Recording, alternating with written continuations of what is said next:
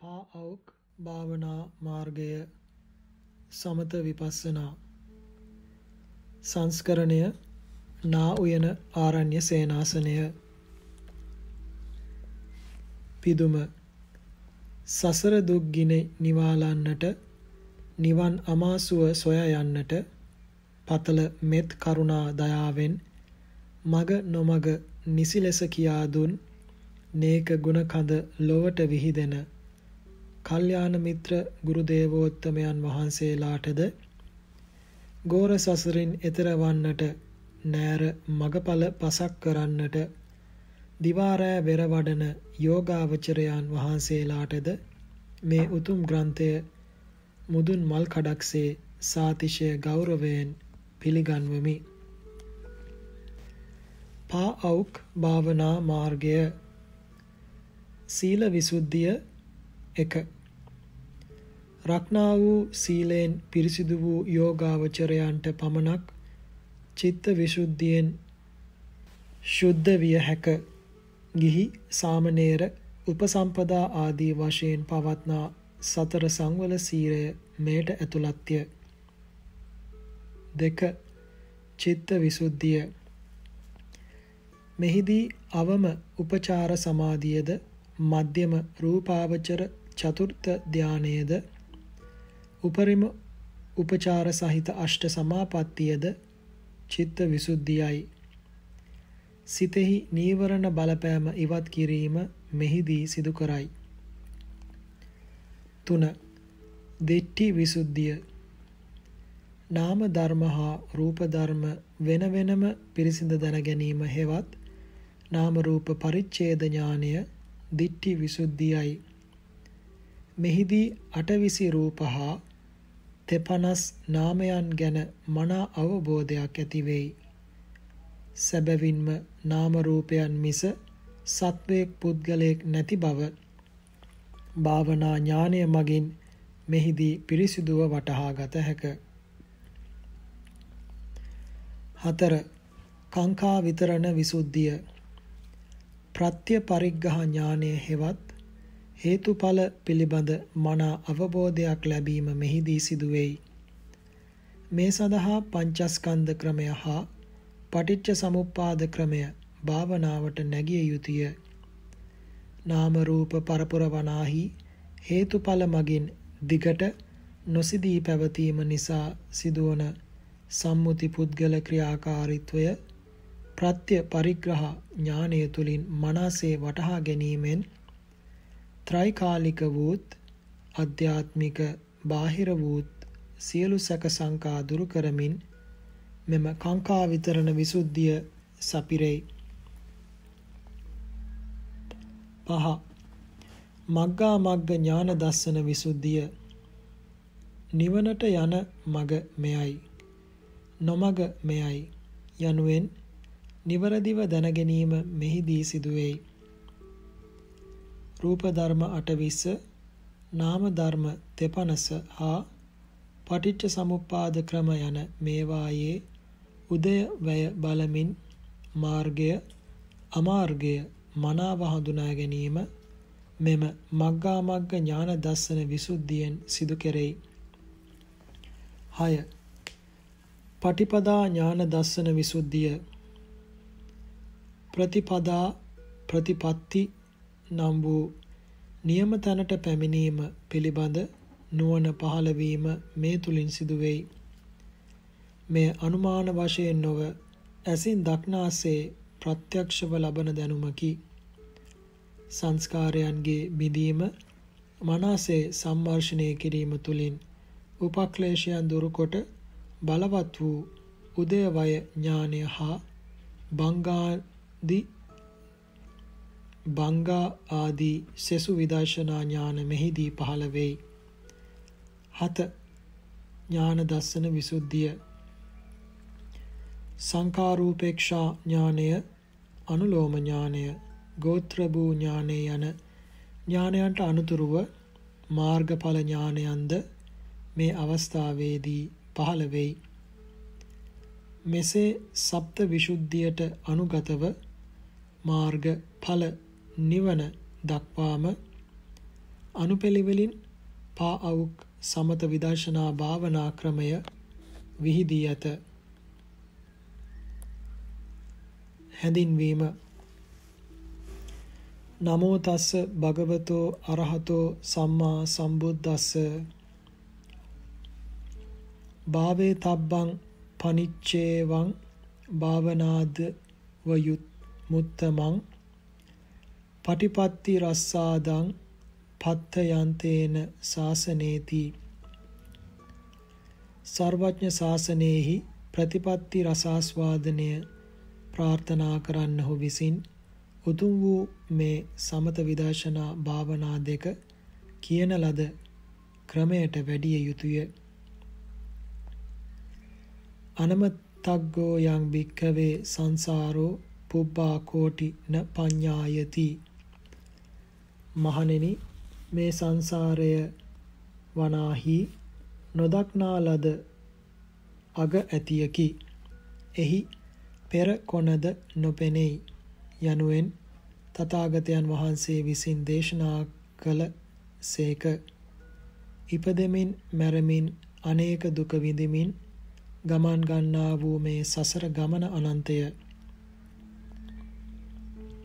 ඒ වනාහි ඉමක් කොනක් කෙලවරක් නැතියක්ය දෙවියන් සහිත ලෝකයාට ලොවි ලෝතුරා සුව සලසන්නා වූ සසරගත සත්වයන් සසර දුකින් මුදවන්නා වූ තුන්ලොවට ආසාය නායක වූ තුන් ලෝක වාසීන්ගේ පරම පූජනීය වූ අංගී රස ඇති තුන් ලෝකාග්‍ර වූ භාග්‍යවත් වූ සම්මා සම්බුදුරජාණන් වහන්සේ විසින් භවයේ සසර ගැට ලිහා දැමීමට දුක් ගිනි ජාලා නිවා දැමීමට සසර දුකින් අත් මිදී නිවන් දකින්නට මේ උතුම් වූ ප්‍රතිපදාව පෙන්වා වදාළසේක. සීල සමාධි ප්‍රඥා සංඛ්‍යාත වූ එම උතුම් ආර්ය අෂ්ටාංගික මාර්ගය නිවන් දැකීම සඳහා නොවරදින්නා වූ ඒකායන මාර්ගයයි එම උත්තම ප්‍රතිපදාව අනුගමනය කළ අසංඛ්‍ය සංඛ්‍යාත සත්වයන් බුදුරදුන් ජීවමාන සමයේදීම ගම්බීර නිර්වාණ ධාතුව අවබෝධ කරගත්හ. අදද ඒ මග එලෙසම විවර වී ඇත. එම නිවැරදි වූ මාර්ගය ප්‍රතිපදාව අනුගමනය කරන්නන් අදද එමගින් උතුම් ඵල නෙලා ගනු ඇත. ඒ සඳහා තම ශ්‍රාවකයන්ගේ වීරිය වඩනු පිණිස නොඑක් සූත්‍රවල බුදුරජාණන් වහන්සේ මෙසේ දේශනා කළසේක. මහණෙනි ශ්‍රාවකයන්ට හිතේශී වූ ශ්‍රාවකයන්ට අනුකම්පා කරන්නා වූ ශාස්ත්‍රූවරයෙකු විසින් ශ්‍රාවකයන්ට අනුකම්පා පිණිස යමක් කළ යුතුද නිවන් හා නිවන් මඟ දැක්වීම වශයෙන් මා විසින් එය තොපට කරන ලද්දේය. මහණෙනි මේ වෘක්ෂ මූලය ඇත්තාහ මේ ශුන්‍යාගාර ඇත්තාහ. ඒ තැන්වලට වී භාවනා කරව. පමා නොවව්. භාවනා නොකර හැර අන්තිම කාලයේදී පසුතැවිලි නොවව්. මෙය තොපට අපගේ අනුශාසනාවයි යනුවෙනි. බුද්ධ ශාසනයක පරමාර්ථය වන්නේ නිවන් සුව අවබෝධ කර ගැනීමයි ඒ සඳහා රත්නත්‍රයෙහි සරණ හැර අන් සරණක් නැත අන් පිහිටක් නැත්තේමය බුද්ධ ශාසනය වනාහි ප්‍රධාන වශයෙන් කොටස් තුනකට බෙදනු ලැබේ. එනම් පර්යප්ති ප්‍රතිපත්ති හා ප්‍රතිවේද ශාසනය යනුවෙනි. මේ ශාසනාංගයන් තුනෙන් පර්යාප්ති ශාසනය වූ ත්‍රිපිටක බුද්ධ වචනය ප්‍රධාන වෙයි. මූලයද වෙයි. ප්‍රතිපත්ති ශාසනය මධ්‍ය වෙයි. ක්‍රියා පිළිවෙත වෙයි. ප්‍රතිවේද ශාසනය අග වෙයි. එයම උතුම්ද අග්‍රද ශ්‍රේෂ්ඨද වෙයි. ලොව බුදුවරයන් වහන්සේලා පහළවන්නේද මේ ප්‍රතිවේද ශාසනය වන නවලෝතුරා ධර්මය පිහිටුවාලීම මුල් කරගෙනයි. උපුටා ගැනීම මාතර ඥානාරාම මාහිමිපාණන් වහන්සේගේ ආනාපානසති භාවනා ග්‍රන්ථයෙන් සංසාරේ යනු හේතුඵල සම්බන්ධයන් පවතින ස්කන්ධ ආයතන ධාතු යන නාම රූප ධර්මයන්ගේ නොසිද පවතින පරම්පරාවයි. තිරිසන් මනුෂ්‍ය දේව බ්‍රහ්ම යනු ඒකාන්තයෙන්ම නාම රූප පරම්පරාවන්මය. සම්මුති පුද්ගල సంతානගතව පවත්නා වූ තණ්හාව ප්‍රධාන ක්ලේශ ධර්මයන් හේතු කොටගෙන මෙම සංසාර චක්‍රය නොසිදී පවතී. මෙම සසර ගමන් ගන්නා සත්වයන් සංසාරය තුලදී අනේකවිධ දුක්ඛයන්ට පත්වෙයි. මෙවන් වූ දුක්ඛිත සසර ගමන නතර කළ හැක්කේ දුකින් සදහටම මිදිය හැක්කේ බුද්ධ ශාසනයක් තුල පවතින ප්‍රතිපත්ති මාර්ගයක් අනුගමනය කිරීම තුලින්මය. යම් චේතනාවක් කරන කොටගෙන කුසල ධර්ම වැඩේද වැඩි දියුණු කෙරේද ඒ චේතනාව භාවනාවයි භාවනා සැපය වනාහි කාම සැපයන්ට සමකල නොහැකි සැපයක් වන අතර කාම වස්තුන්ගෙන් ලද හැක්කක්ද නොවේ එමෙන් එමෙන්ම ප්‍රඥාව දියුණු කර ගැනීමට ඇති හොඳම ක්‍රමයද භාවනාවයි කන්දක් පාමුල සිට අවට දකිනවාට වඩා කඳු මුදුනකට ගිය විට හාත්පසම මනාව දැකගත හැක. එමෙන් සාමාන්‍යයෙන් දකින දැක්මට වඩා භාවනා ඥානය තුලින් දකින දැක්ම වඩාත් අර්ථාන්විතය. භාවනාව යනු ලොව පුළුල්ම විෂයක් වන අතර එය සර්වාකාරයෙන්ම දැනවදාරන්නේ සම්මා සම්බුදුරජාණන් වහන්සේලා විසින්මය. සසර ගමනේ පිරූ පාරමිතා ඇති ත්‍රි හේතුක ප්‍රතිසන්දි නුවණ නම් වූ ಜಾති ප්‍රඥාවකින් සමන්විත පුණ්‍යවන්තයන්ට භාවනා කිරීම තුළින් විපුල ඵල නෙලාගත හැක. වී යට පැලවීමේ ශක්තිය ඇත්තේ ඒවා අටු කොටුවල තියෙන තුරු නොව සරු කෙතක වපුල කල්හිය. එමෙන්ම තම තමන්ගේ භාවනා ශක්තිය උරගා බැලිය යුත්තේද උත්සාහයෙන් වීරියෙන් අකණ්ඩව භාවනා කර බැලීම තුලින්මය මේ සසර මිදීමේ වැඩපිළිවෙල ක්‍රමානුකූලව පිළිවෙලකට දියුණු කළ යුත්තකි. එහිදී කය වචනය සංවර කර ගැනීම සීල ශික්ෂාවෙන්ද විසිරුණු සිත දමනය කර ගැනීම සමාධි ශික්ෂාවෙන්ද සමාධිය ඇති කරගෙන සත්‍ය දකමින් නුවණ දියුණු කර ගැනීම ප්‍රඥා ශික්ෂාව මගින්ද දියුණු කරයි. මේ ශික්ෂාත්‍රය ආදි කල්යාණ, මධ්‍ය කල්යාණ හා පරියෝසాన කල්යාණ යන කල්යාණ ත්‍රයෙන්ද හඳුන්වයි. සත්‍ය දැකීම වනාහි සත්‍ය ප්‍රතිපත්තියකින්ම මිස අසත්‍ය දෙයකින් කවර කලකදීවත් කළ නොහැක. චතුරාර්ය සත්‍ය තුල දුක්ඛ සත්‍යෙහි වැඩි යුත්තක් නැත. නාම රූප ධර්ම හා ඒවායේ ලක්ෂණ රස ආදිය දුක්ඛ සත්‍යෙහි අන්තර්ගතය. සමුදය සත්‍යෙහිදී තණ්හාව ප්‍රදාන ක්ලේශයන් තදංග විස්කම්බන සමුච්ඡේද වශයෙන් ප්‍රහාණය කළ යුතුය. නිරෝධ සත්‍යෙහිදී ඒ එය සිව්මග නුවණින් අවබෝධ කළ යුතුය.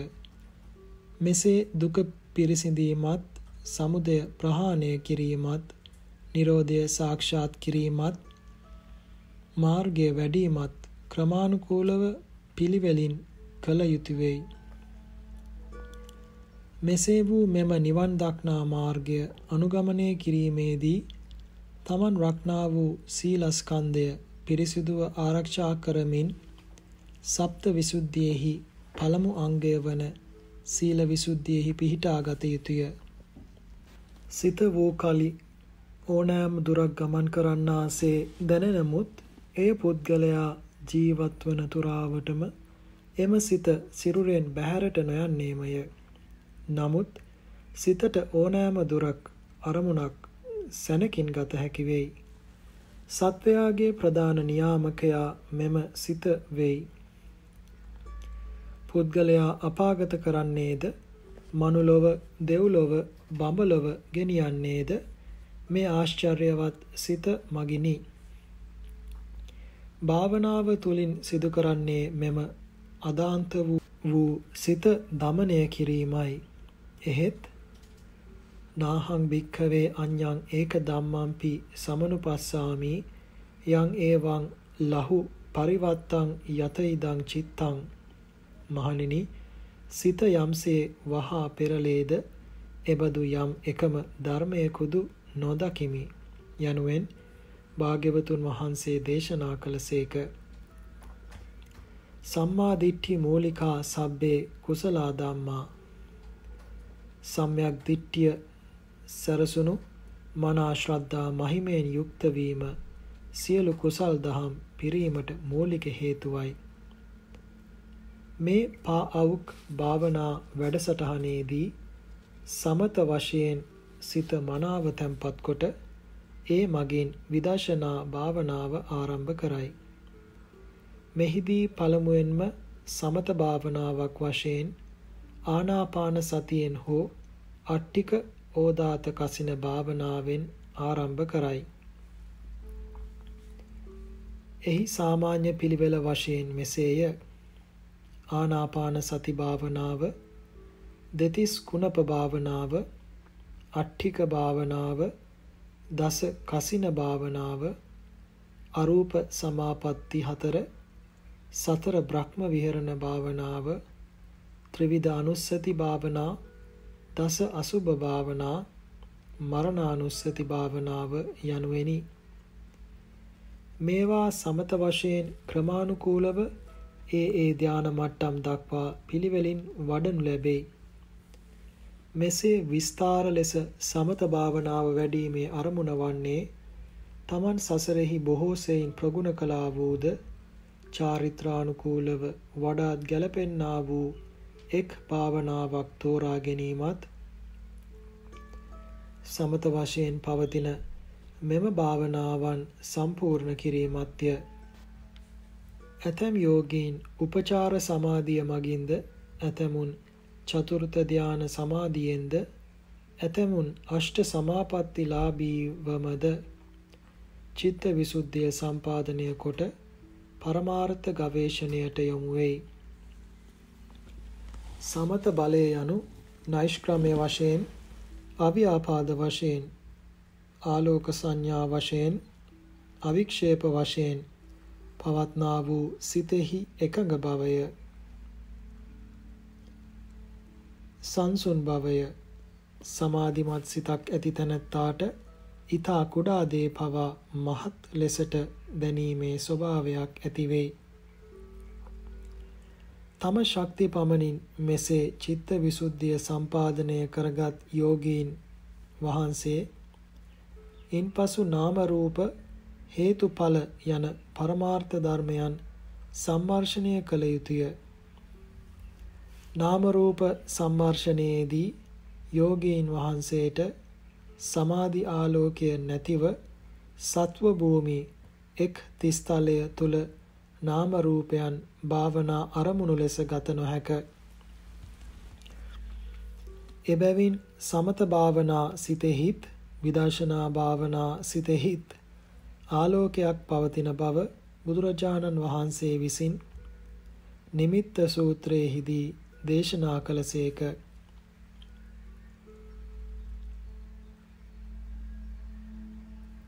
අතිපූජනීය පාඅවුක් ආචින්න සියාඩෝ මාහිමිපාණන් වහන්සේ විසින් දේශනා කරන ලද පරිදි රූපයක් පෙනෙන්නේ ආලෝකයක් ඇති විටය විදර්ශනා වඩන යෝගියා රූප කලාපවල වර්ණය දැක යුතුය ඒ සඳහා එවිට ආලෝකයක් ඇතිවිය යුතුය. ආලෝකය නැතිව රූප කලාප නොපෙනෙයි. ලෝක ධාතුවේහිද සකල විශ්වයේහිමද පවතින සියලුම පරමාර්ථ ධර්ම සංඛ්‍යාව 82කි. එනම් චිත්තය චෛතසික දෙපනස රූප 820 නිර්වාණය යනුවෙනි. මෙහි රූප කර්මස්ථාන තුලින් රූප ධර්මය සම්වර්ෂණය කිරීමේදී සතර මහා ධාතුන් ප්‍රදානව සෙසු සියලුම රූප ධර්මයන් ෂඩ් ద్వාරයන්හිද දෙසාලිස් කොට්ටාසයන්හිද අධ්‍යාත්මික බාහිර වශයෙන්ද ක්‍රමානුකූලව පුළුල් සම්වර්ෂණයක් සිදු කෙරෙයි. නිසි ආකාරයට රූප කර්මස්ථාන ප්‍රගුණ වූ විට ඒකත්වයෙන් සලකාගෙන සිටි තම ශරීරයේ එකක් නොව wen wen වූ ධාතු කොට්ටාස හතරක අන්‍යෝන්‍ය පැවැත්මක් බව ක්‍රියා මාත්‍රයන් පමණක් බව අවබෝධ වෙයි. රූප ධර්මයන් ගැන ප්‍රශස්ත අවබෝධයක් භාවනා ඥානය තුලින් ඇති කරගත්තහුට රූප පරිග්‍රහ ඥානය වැඩෙනු ඇත. ඉන් අනතුරුව නාම කර්මස්ථානය තුලින් නාම ධර්මයන් සම්මාර්ෂණය කරයි.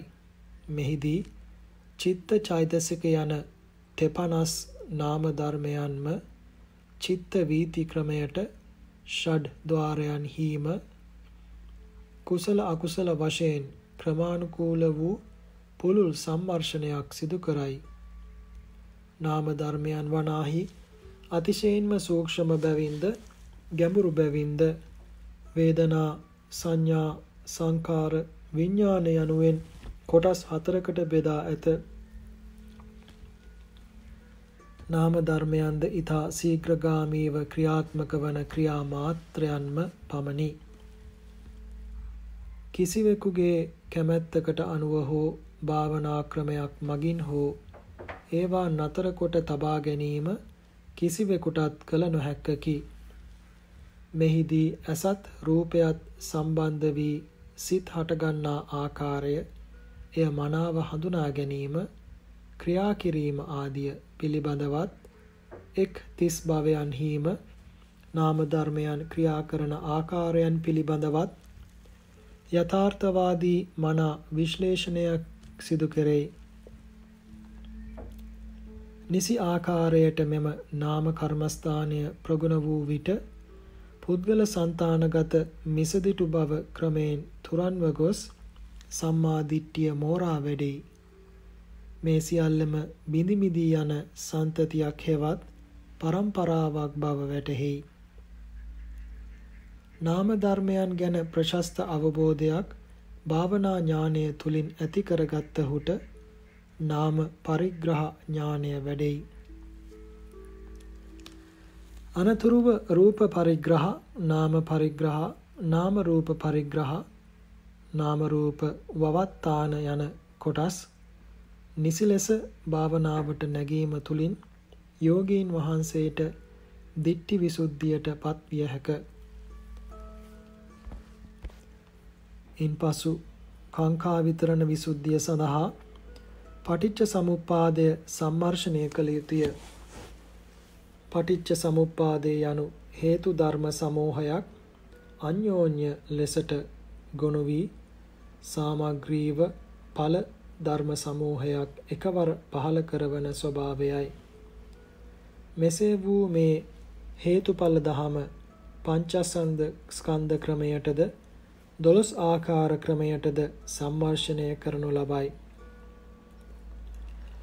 මෙහිදී පළමුව නාම රූප ධර්මයන් හා අතීත හා අනාගත වශයෙන් භවයන් කීපයක් සම්මර්ෂණය කරනු ලබයි.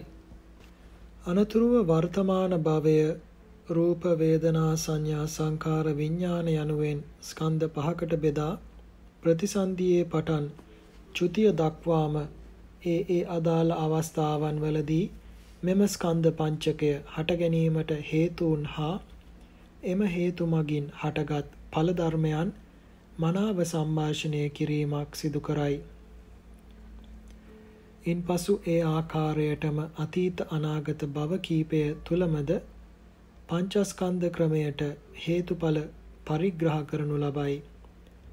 ඇඟිලි පහ එකතු වූ කල මිට යයි කියයි. නමුත් ඇඟිලි පහක් මිස මිට යනුවෙන් යමක් නැත. එසේම පංචස්කන්ධයට පුද්ගලයෙක් යනුවෙන් විවහාර කළත් එහි ස්කන්ධ පංචකයක් මිස පුද්ගලයෙකු නැත. නිසි ලෙස පංචස්කන්ධ භාවනාව වැඩූ යෝගීන් වහන්සේට මේ తත්වය මනාව අවබෝධ වනු ඇත. ඉන් අනතුරුව පටිච්ච සමුප්පාද පළමු ක්‍රමයට අනුව භාවනා කළ යුතුය. එහිදීද වර්තමාන භවය ප්‍රදාන කොටගෙන අවිජ්ජා පච්චය සංඛාරා ආදී වශයෙන් භාවනාවට නැගිය යුතුය. පසුව ඒ ආකාරයටම අතීත අනාගත භව කීපයක් පුරාවට මද ඒ ඒ අවස්ථාවන් සම්බන්ධ කරමින් හේතුඵල පරිග්‍රහ කළ යුතුය.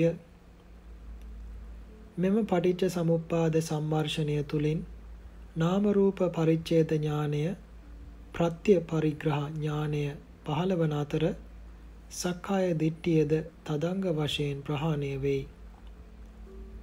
තවද 1 උච්ඡේද දෘෂ්ටිය එනම් මරණින් මසු මතු පසු කිසිවක් නැත.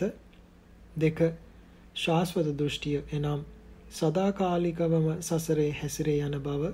3 පරමාත්මය එනම් නිර්මාණය කරන්නා වූ ආත්මයක් ඇති බව. 4 ජීව ආත්මය එනම් නිර්මාණය කරනු ලබන ආත්මයක් ඇති බව ආදී වශයෙන් පවත්නා සියලුම ආත්ම දෘෂ්ටීන් මෙහිදී දිය වී යනු ඇත. පරමාර්ථ වශයෙන් සකල විශ්වයෙහිම ඇත්තේ නාම රූප ධර්මයන් පමණක්මය. ඒවා තුල සෑම කල්හිම පවතින ආත්ම සාරයක් නැත්තේමය.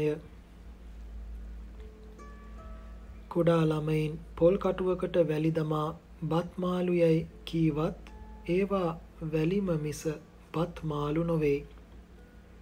එමෙන්ම නාම රූපයන්ට මම නුඹ මිනිසා තිරිසනා ආදී විවහාර කළත් ඒවා නාම රූපයන්ම මිස සත්වයන් පුද්ගලයක් නොවේ. මිනිසුන් නැතිව නැවටද නැව නැතිව මිනිසුන්ටද සසර තරණය කළ නොහැක්කාසේ නාමයන් නැතිව රූපයටද රූප නැතිව නාමයන්ටද මිහිපිට පැවැත්විය නොහැක්කේය. හේතු ධර්මයන් වනාහි ඵල ධර්මයන් මත පිහිටා පහළ වෙයි. හේතුං පටිච්ච සම්භූතං හේතු බංගා නිරුජ්ජති සියලු නාම රූප සංස්කාරයන් හේතු අනුව පැන නැගී හේතු බිඳී යාමෙන් ඒවා නිරුද්ධ වෙයි. පටිච්ච සමුප්පාදය ත්‍රිවිධ පරිඥාවෙන් හෝ අනුබෝධ ප්‍රතිවේද ප්‍රතිවේද ඥානයන්ගෙන් හෝ විනිවිද නොදැක සිහිනෙනෙකුදු කිසිවකුටත් සංසාර වට්ට දුකෙන් නිදහස් විය නොහැක. එය මනාව අවබෝධ වන්නේ පච්චයතෝ උදයවය දස්සන හා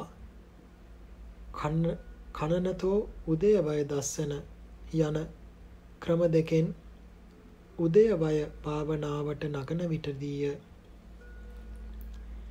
නිසි ලෙස මෙම හේතුඵල දහම භාවනාවට නැගීම තුළින් පූර්වාන්ත අපරාන්ත වර්තමාන යන ත්‍රිකාලික වූ සෝලසකාර සැක සංකාවන් දුරු වී යනු ඇත.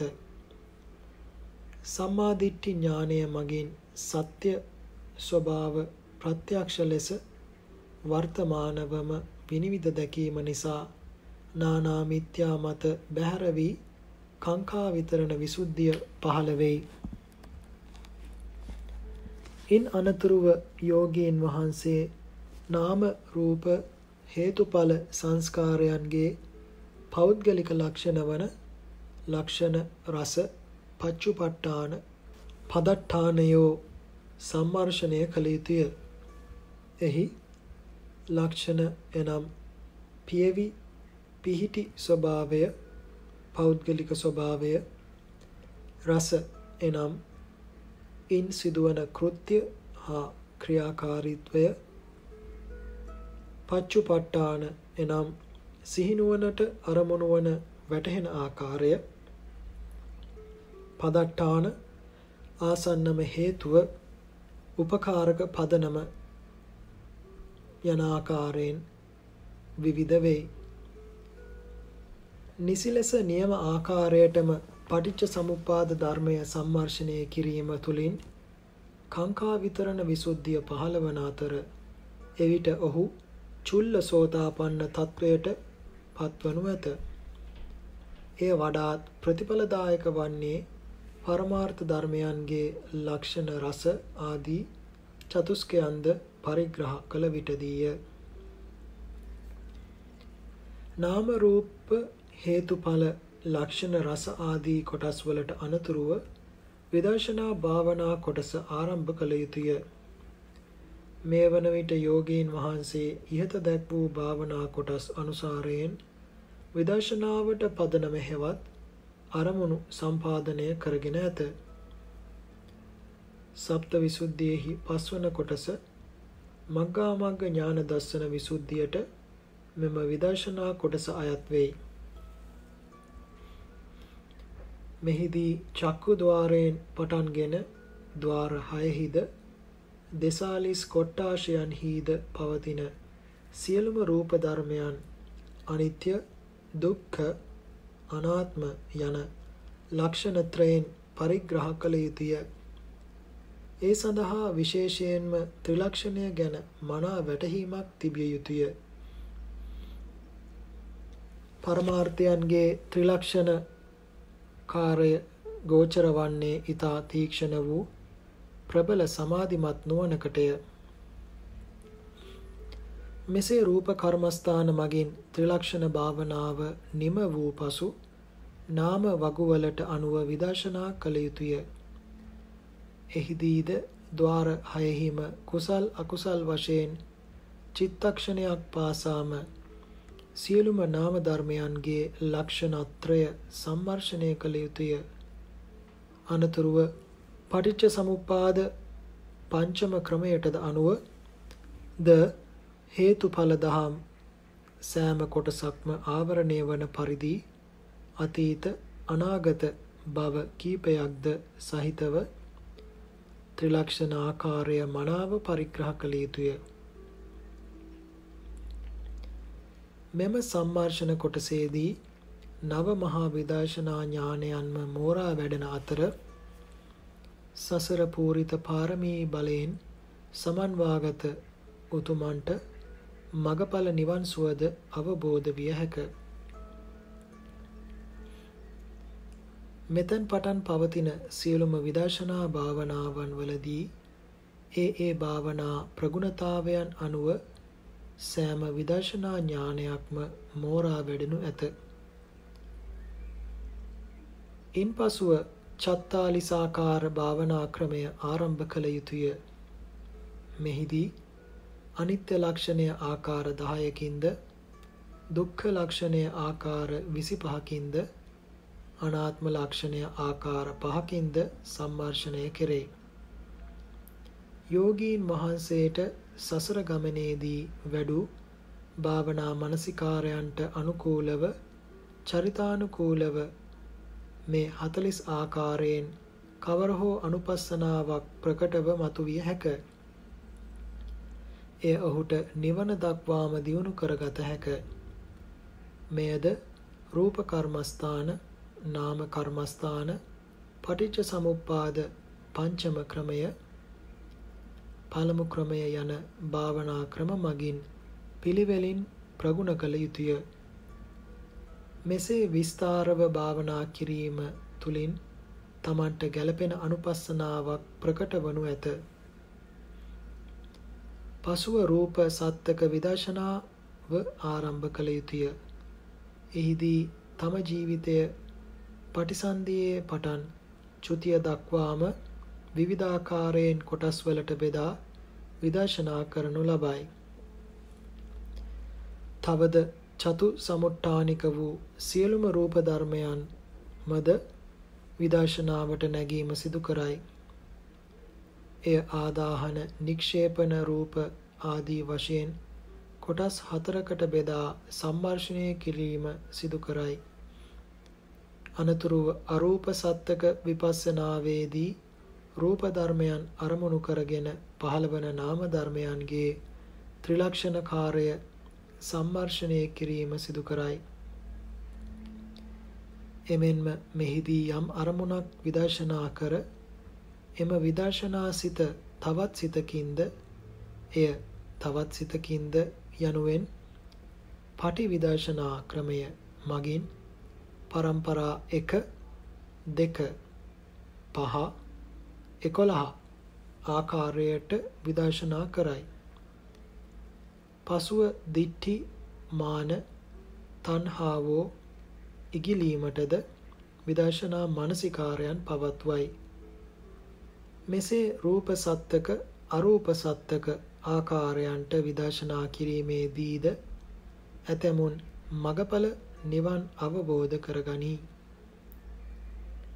අනතුරුව සවිඥානික කොටස් 32ද අවිඥානික අසුබ 10ද දුර්ගන්ධ අසුචි ව්‍යාධි ජරා මරණ වශයෙන් මනාව සම්මර්ෂණය කර ඒ සියල්ලන්ම තුලමද සතර ධාතුන්ද නිසි ලෙස ප්‍රකට කරගත යුතුය.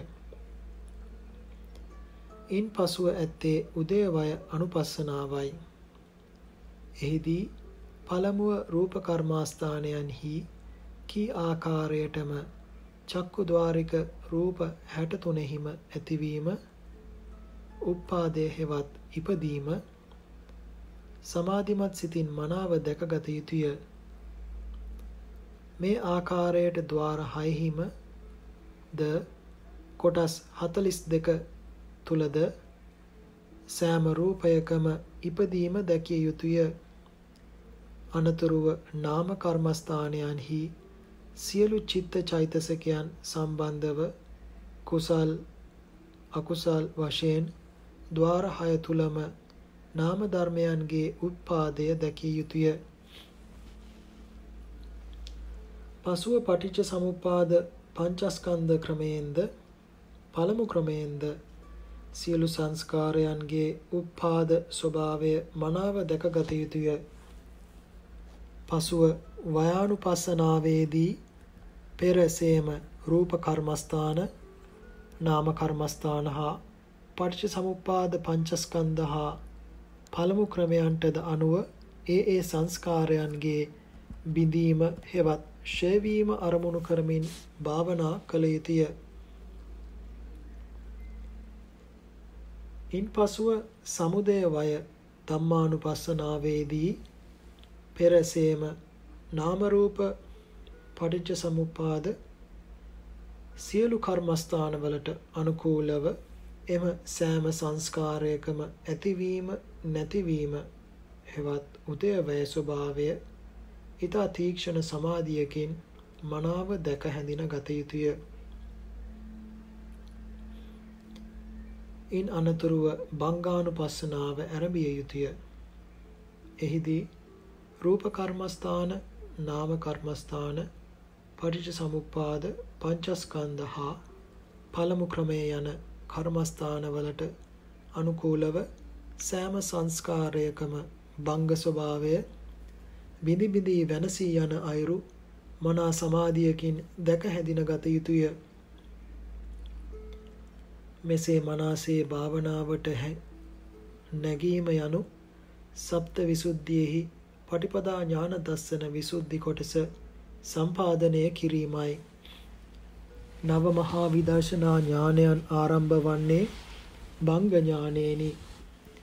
එබැවින් නිසි ලෙස එම විදර්ශනා ඥානයන් මුහුකුරා වැඩෙනුයේ මෙම බංගානුපස්සනා කොටසේදීය. මේ ආකාරයට විස්තරව භාවනා කරන විට කවර හෝ යම් අවස්ථාවකදී යෝගීන් වහන්සේට සකල සංස්කාරයන්ම එපා වී කලකිරී අතහැරී නිර්වාණ ධාතුව අවබෝධ වෙයි. එසේ නොවුනහොත් තව දුරටත් මේ බංගානුපස්සනාව මගින් ශුන්්‍යත සමාධිය ඇති කරගෙන එහි වශීභාවයට පත් කරගෙන නාම කර්මස්ථානයේ අකුසල චිත්ත වීති වගුවලට අනුව තමන්ගේ ප්‍රහීන ක්ලේශයන් හා අප්‍රහීන ක්ලේශයන් පරිග්‍රහ කළ යුතුය. අප්‍රහීන ක්ලේශයන් ප්‍රහාණය කිරීමට බංගානුපස්සනාව මගින් උත්සාහ කළ යුතුය. මෙසේ නිවැරදි වූ මාර්ග ප්‍රතිපදාව මනාකොට අනුගමනය කිරීම තුළින් සෝවාන් ආදී මාර්ග ඥානයන් ප්‍රතිවේද කරගනිත එහිදී එම මාර්ග ඥානයෙන් අනතුරුව පහළවන විදර්ශනා ඥාන ශක්තියින් සප්ත විසුද්ධියෙහි ඥාන දස්සන විසුද්ධි කොටසට අයත් වෙයි. විදර්ශනා භාවනාව යනු සර්ව සංස්කාර ධර්මයන් එනම් නාම රූප හේතුඵල මනවින් හැඳිනගෙන නුවණින් ඒවා විවිධාකාරයෙන් අනිත්‍ය දුක්ඛ අනාත්ම වශයෙන් සම්මර්ෂණය කිරීමයි. සකල විශ්වයෙහිම ඇත්තේ නාම රූප හෙවත් ස්කන්ධ පංචකයකි. මේ කිසිවක් ද්‍රව්‍ය ගණයට අයත් නොවේ. ආකාශය තුල නිරන්තරයෙන්ම විපර්යාසයට පත්වමින් තිබෙන හේතුඵල සම්බන්ධයෙන් පවතින ශක්ති මාත්‍රයෝය. පැවතීමක් ගැන තීරණය කරගත නොහැකි මට්ටමට ඒවා ඊතා වේගයෙන් ඉපිද ඉපිද බිඳි බිඳි પરම්පරා වශයෙන් පවතී. సంతానගතව පවත්නා මෝහ කඩතුරාව ඉවත් කර මේ පරමාර්ථ වූ යථා ස්වභාවය පාදා ගැනීමේ පිළිවෙත විදර්ශනා භාවනාවයි. එහි ඇරබුම සම්මුති කමටහනක් වන අතර ක්‍රමයෙන් ඉන් පරමාර්ථ ස්වභාවය මතු කරගත හැක.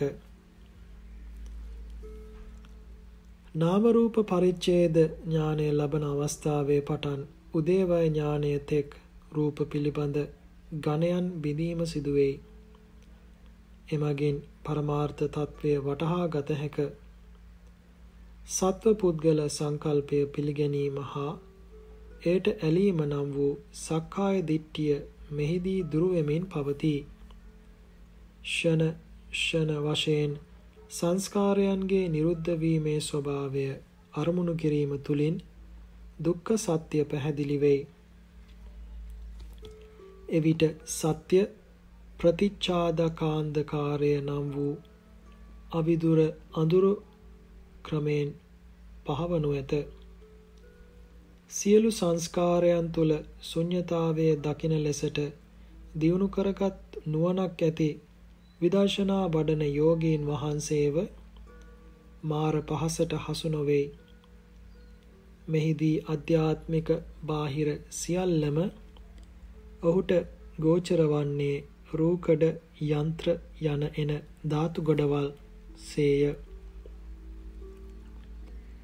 මේ සියල්ලන්ම නාම රූප විපර්යාසයන්මය. යන්ත්‍ර මගින් දුවන දේවල් මෙනි.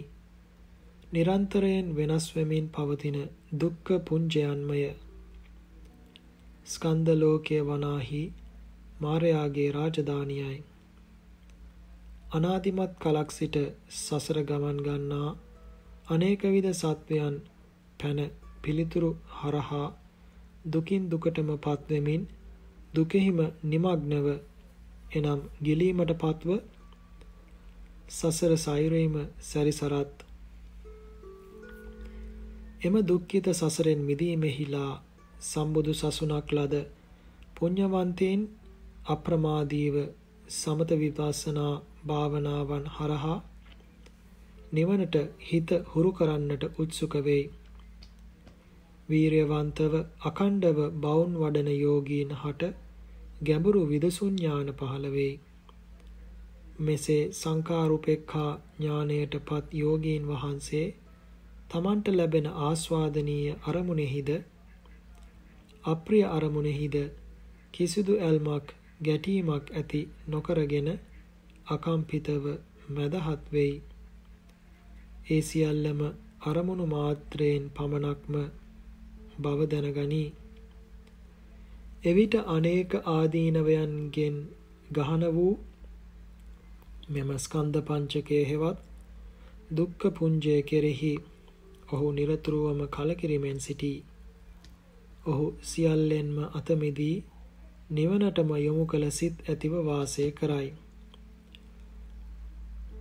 ඔහුගේ විදර්ශනා සිත කෙමෙන් කෙමෙන් මුහුකුරා ගොස් ත්‍රිවිධානුපස්සනාවෙන් එක් අනුපස්සනාවක් පෙරට වූ යම් මොහතක හටගන්නා සුළු ධර්මයක් වේද ඒ සියල්ලම නිරුද්ධ වන බව ප්‍රත්‍යක්ෂ වශයෙන්ම අවබෝධ වීමෙන් සංස්කාරයන්ගේ ත්‍රිලක්ෂණාකාරය වසාලන සම්මෝහය දුරු වී විසුද්ධ වූ යථා දර්ශනය පහළ වෙයි. එවිට සංස්කාරයන් කෙරෙහි පවතින තණ්හාව අතහැරි ලෝකෝත්තර පරමාර්ථ ස්වභාවය වන නිර්වාණ ධාතුව ප්‍රත්‍යක්ෂ කරගෙන ලෝකේ නැමැති දුකෙන් මිදෙනු ඇත. මෙසේ සත්‍ය අවබෝධයෙහි යෙදෙන්නා වූ සිල්වන්ත නැනවත්ත යථා අවබෝධලාභී විදර්ශක භික්ෂු තෙමේ තම සංඛාරුපෙක්ඛා ඥානය තුලින් සම්මෝහය නම් වූ අවිද්‍යාව නසත් නසත්ම දුකට හේතුව වන තෘෂ්ණාව ප්‍රකට වෙයි.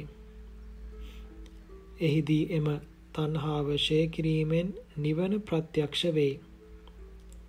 එවිට ඔහු ආර්ය මාර්ග ඵල නිර්වාණය සාක්ෂාත් කළ සංකත දේශයෙන් අසංකතයට මාරු වූවෙක් වෙයි.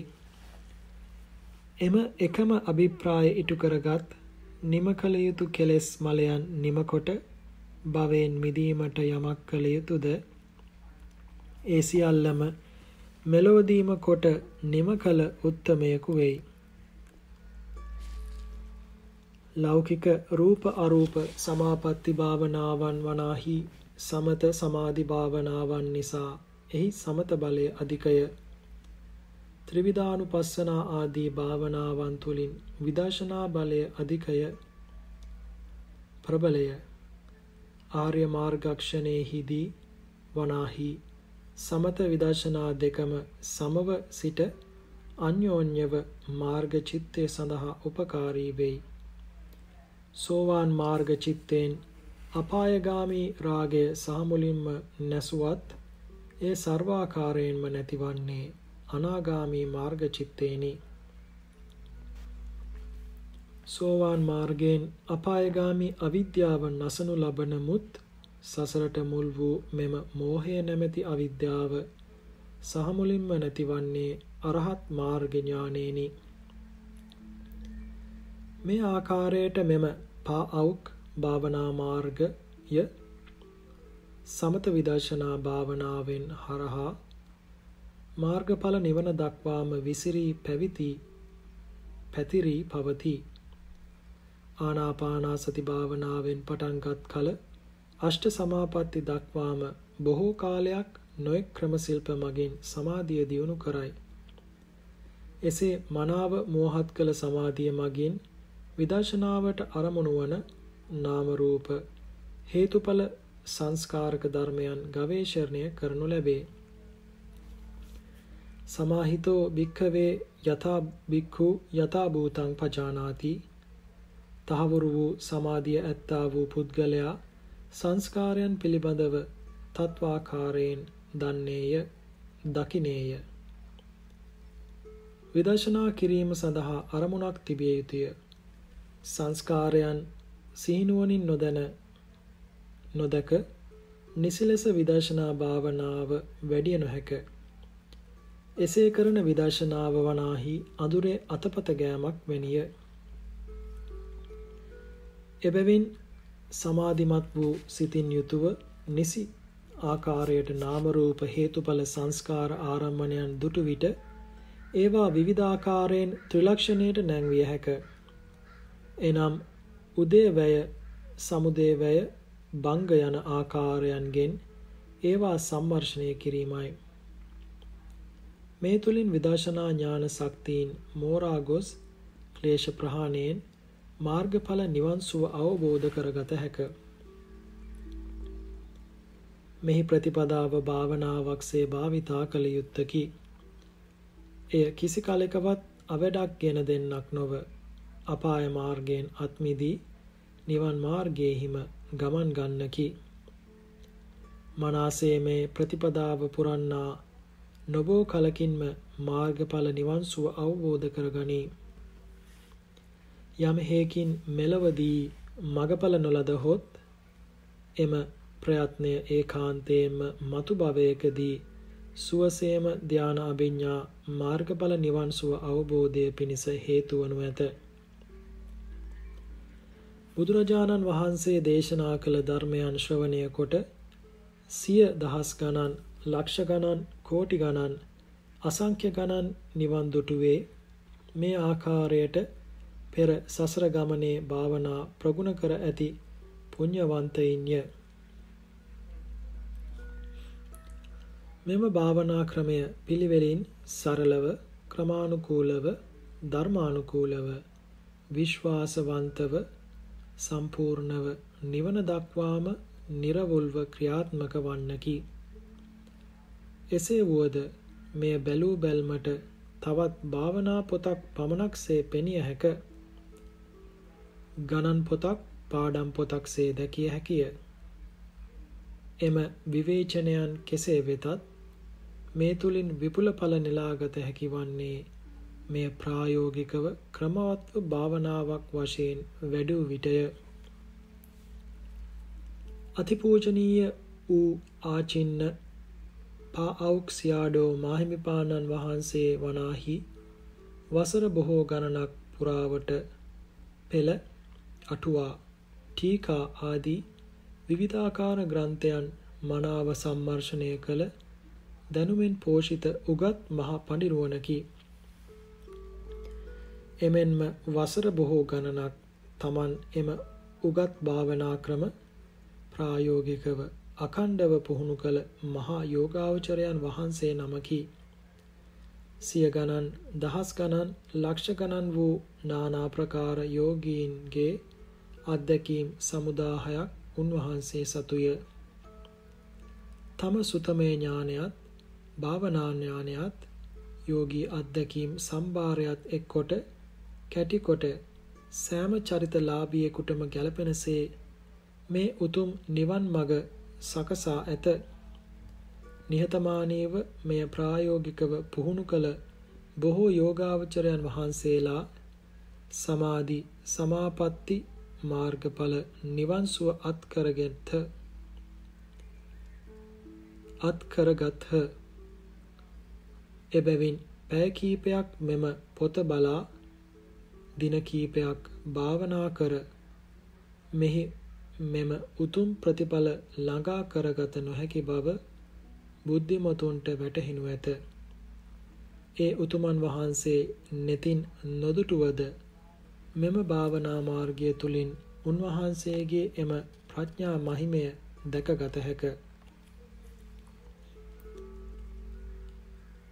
උපුටා ගැනීම දැනුම හා දැකීමෙන් මෙය පාඅවුක් සයාඩෝ ස්වාමීන් වහන්සේ සතු පෞද්ගලික භාවනා ක්‍රමයක් නොවන අතර තථාගතයන් වහන්සේ විසින් දේශිත උතුම් නිවන් මගය. ජානතෝ අහං භික්කවේ පස්සතෝ ආසවානං කයං වදාමි. නො අජානතෝ නො අපස්සතෝ. මහණෙනි ආර්ය සත්‍ය දක්නා හට දන්නා හට දක්නා හට ආශ්‍රමයන්ගේ ශ්‍රේවීම සිදුවන බව මම කියමි. නොදන්නා හට නොදක්නා හට නොකියමි. සබ්බාසව සූත්‍ර මජ්ක්‍ධිම නිකාය යම් කිසිවක සත්‍ය අසත්‍ය පිළිබඳ නිවැරදි නිගමනයකට බැස ගැනීමේදී තමන්ගේ මතය ඊටාම දැඩි උපක්ලේශයකි ආයුෂ්මත් බද්දන්තාචාර්ය බුද්ධඝෝෂ මහතෙරුන් වහන්සේ විසින් සුමංගල විලාසිනියෙන් උපුටාගෙන ලදී. මෙය මාගේ ක්‍රමයක් නොවේ. මම මෙය කෙලින්ම පාලි ග්‍රන්ථවලින් හා අටුවාවලින් ලබාගත්තෙමි. අතිපූජ්‍ය පා අවුක්සියාඩෝ පා අවුක් ආරණ්‍ය සෙනසුන මෝලමියන් මියන්මාර් උපුටා ගැනීම දැනුම හා දැකීම අද වර්තමානයේ ලක් බුදු සසුනේ මුදුන් මල් කඩක්සේ විරාජමානව වැජබෙන අතිපූජනීය නා උයනේ අරිය ධම්ම මාහිමිපාණන් වහන්සේද කලක් තිස්සේ මෙම උතුම් භාවනා ප්‍රතිපදාව පූර්ණය කළහ. ඉන් ලද අත්දැකීම් මත මෙම පිළිවෙත නිවැරදිය ප්‍රතිඵලදායකයයි ප්‍රශංසනීය මුඛයෙන් එකහෙලාම අනුමත කර ඇත. එමෙන්ම වර්තමානයේ නාවියන ආරණ සේනාසනයේ කෘත්‍යාධිකාරී අතිපූජනීය අඟුල්ගමුවේ අරයනන්ද මහා ස්වාමීන් වහන්සේද කලක් තිස්සේ බුරුම රටෙහිදී පා අවුක්සියාඩෝ මාහිමිපාණන් වහන්සේ සමග ඊතා සමීප ඇසුරක් පවත්වා මහත් අත්දැකීම් සම්භාරයක් රැස් කරගත් උතුමෙකි. අදටත් සිය ගණන් යෝගීන් වහන්සේ ඇසුරෙහි භාවනා හදාරනු ලැබේ. තවද වර්තමානයේ නා උයන ආරණ්‍යයේ භාවනා උපදේශකත්වයෙන් කටයුතු කරන පූජනීය සීලගම ඥානසිරි ස්වාමින් වහන්සේද වරින් වර බුරුම දේශයේද භාවනා පුහුණු වෙමින් දෙස් විදෙස් බොහෝ යෝගී පිරිසකට මෙම උතුම් නිවන් මඟ පෙන්වමින් කටයුතු කරයි.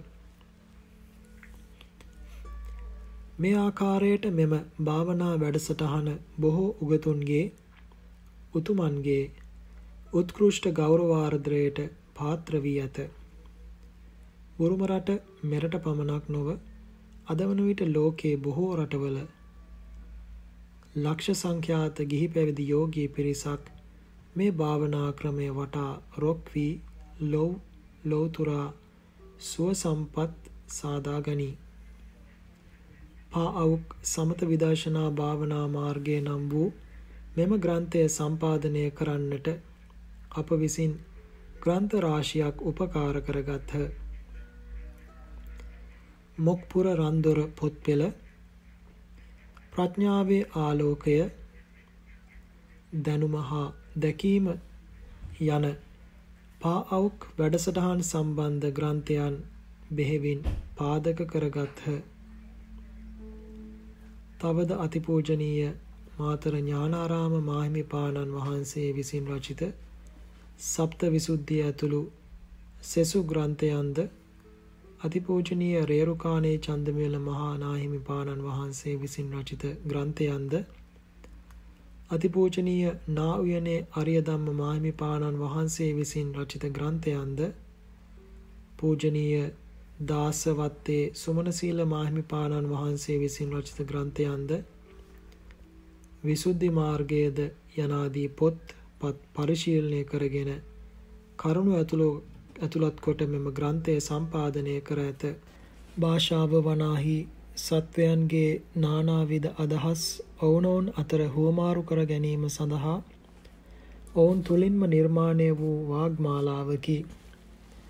ලෞකිකත්වය තුළින් මෙසේ බිහි වූ භාෂාව වූ කලි සම්මුති ධර්මයන් හා සබැදි නිර්මාණය වූවක් වන අතර එය පරමාර්ථ ස්වභාවය ලෝකෝත්තරත්වය ගැන විග්‍රහ කරන්නක් නොව සම්මුති වර්ගික වූ පුද්ගලයන්ට අවශ්‍ය වන්නේත් ඔවුන්ගේ අවශ්‍යතාවයන් නිර්මාණය වී ඇත්තේත් සම්මුතියෙන්මය.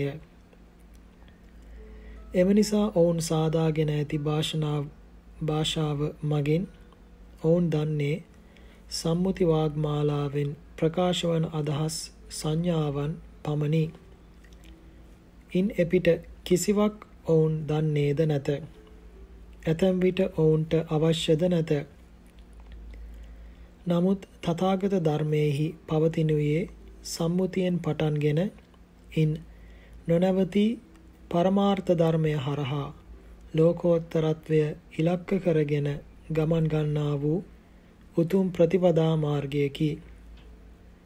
එසේ වූ එම පරමාර්ථ ස්වභාවය ලෝකෝත්තරත්වය ප්‍රකාශ කිරීමට පහදා දීමට සම්මුති පුද්ගලයන් විසින් නිර්මාණය කරගත් භාෂාව තුල වචන නැත්තේය.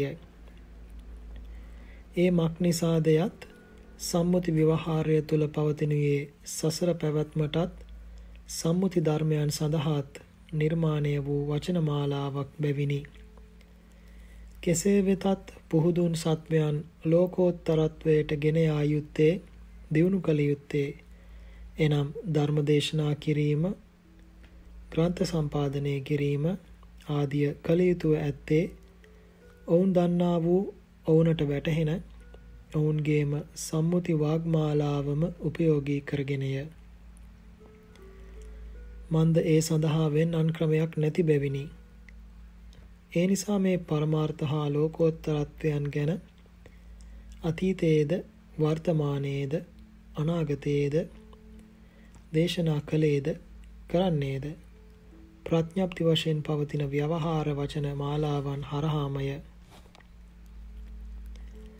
ලෞකිකත්වයේ ඉක්මවා ගිය නිවන් සුව අවබෝධ කළා වූ බුදු පසේ බුදු මහරහත් උත්තමයන් වහන්සේලාද ව්‍යවහාර කරනුයේ ජනපද නිරුක්තිය නම් වූ සාමාන්‍ය පුද්ගලයන් විසින් විවහාර කරනු ලබන ජනවහරමය. ඒ හැර ලෝකෝත්තරත්වයෙහි වෙනම භාෂාවක් නැත. ව්‍යවහාර භාෂාව එකම නමුත් ලෞකික ලෝකෝත්තර තත්ත්වයන් අතර අතිශයින්ම වෙනසක් පවතී. එනම් පුහුදුන් පුද්ගලයා වනාහි අවිද්‍යාවෙන් අන්ධ වී තණ්හාවෙන් පටලැවී ආත්ම දෘෂ්ටියක් මමත්වයක් තුළ සිරවී ඇලීම් ගැටීම් හරහාම භාෂාව ව්‍යවහාර කරගනී. නමුත් ලෝකෝත්තරත්වයට පත් මහෝත්තමයන් වහන්සේලා තුළ මෙම ව්‍යවහාර භාෂාව මගින් කටයුතු කරන විට ඇලීම් ගැටීම් වලින් තොරව අවබෝධ ඥානයෙන්ම එය සිදුවනු ඇත. එය එසේ සිදුවන්නේ ඒ උත්තමයෝ සර්වාකාරයෙන්ම අවිජ්ජා තණ්හා ආදී කෙලෙස් ධර්මයන් විනාශ කර ඇති බැවිනි. සම්මුති ප්‍රඥප්ති වචනයන්ගෙන් පරමාර්ථ ලෝකෝත්තරත්වය ගැන ප්‍රකාශ කිරීම ඊට අසීරු කාර්යයකි. මෙම ග්‍රන්ථය තුලින්ද ලෝකෝත්තරත්වයට මඟ පෙන්වීමට වෑයම් කර ඇත්තේ සම්මුති ලෝකයා විසින් විවහාර කරන සම්මුති වචන අනුසාරේනි. ඒ ඒ හැර ඒ සඳහා අන් මගක් නැති නිසාය. සම්මුති වචන මගින් පරමාර්ථය කියා පෑම බැරෑරුම් කටයුත්තක් වන බැවින් මෙම ග්‍රන්ථය කෙරුණු සැමට එකසේ වටහා ගැනීමට අපහසු විය හැක. එහෙත් දැක් වූ හේතු කාරණාවන් නිසා සැමටම එක ලෙස වටහා ගත හැකි පරිදි කිසි කලකත් සම්පූර්ණ වූ ධර්ම ග්‍රන්ථයක් එළි දැක්වීමට නොහැක වනු ඇත. විස්තාර වූ ධර්ම ග්‍රන්ථයන් තබා බුද්ධිමත් ඇතමුන්ට පර වී ගිය මලක් දැකීම, දි รา ගිය ගසක් දැකීම, පහන් දැල්ලක් දැකීම වැනි කුඩා අරමුණකින් වුවද ධර්ම අවබෝධය ලබාගත හැක. එබැවින් අඩලුහුඩුකම් නොසොයා ඇතමුන්ගෙන් එල්ලවන විවිධ විවේචනයන් පසකලා නිස්සරණ ආධ්‍යාශයෙන්ම සසර දුකින් ගැලවීමේ උතුම් අදහසින්ම මෙම ග්‍රන්ථය පරිශීලනය කර යුතුය. එමෙන්ම මෙය විවිධාකාර ධර්මකාරණා විග්‍රහ කරන්නක් නොවන අතර නිවන දක්වාම භාවනා මාර්ගයක් විස්තර කරන ග්‍රන්ථයක් බවද සිහිපත් කළ යුතුය. තවද විශේෂයෙන්ම මෙම ග්‍රන්ථය මාර්ග ප්‍රතිපදාවට පිළිපන් භික්ෂූන් වහන්සේලා සඳහාම විශේෂ කොට සකසා ඇති බැවින් ඇතැම් විට ගිහි පින්වතුන්ට මේ සමහර ධර්මකාරණා වටහාගත නොහැකි විය හැකි බවද සඳහන් කළ යුතුය. පුද්ගලයන් පිරිසකට එකම ධර්ම දේශනාවක් දේශනා කළහොත් ඉන් කොටසකට ධර්මාවබෝධය විය හැකිය. නමුත් සෙස්සන්ට එහි කිය වූ කිසිවක් නොවැටහි හැකිය. එම ධර්ම කාරණයම වෙනත් ක්‍රමයකින් ඔවුනට දේශනා කළහොත් ඇතැම් විට ඔවුනටද ධර්මාවබෝධයට පත්විය හැක. මේවා මෙසේ සිදුවන්නේ ධර්මයෙහි ඇති වරදක් නිසා නොව පරමාර්ථ ධර්මයන් දේශනා කිරීමට භාෂාවේ වචන මදකම නිසාත් විවිධාකාර කාරණා හේතුවෙන් වන පුද්ගල නානත්වය නිසාත්ය. දේශකයන් වහන්සේ කතුවරයා විසින් නිර්වාණ මාර්ගයේ කුමන ක්‍රමයකින් කෙසේ දේශනා කළත් රචනා කළත් ශ්‍රාවකයා හෝ පාඨකයා බුද්ධිමත් නම් සම්මුති වචනානුසාරයෙන් කරන එම දේශනාවෙහි පරම අභ්‍යන්තරික හරය හෙවත් ලෝකෝත්තරත්වය ඔහුට මනාව අවබෝධ කරගත හැකි වනු ඇත.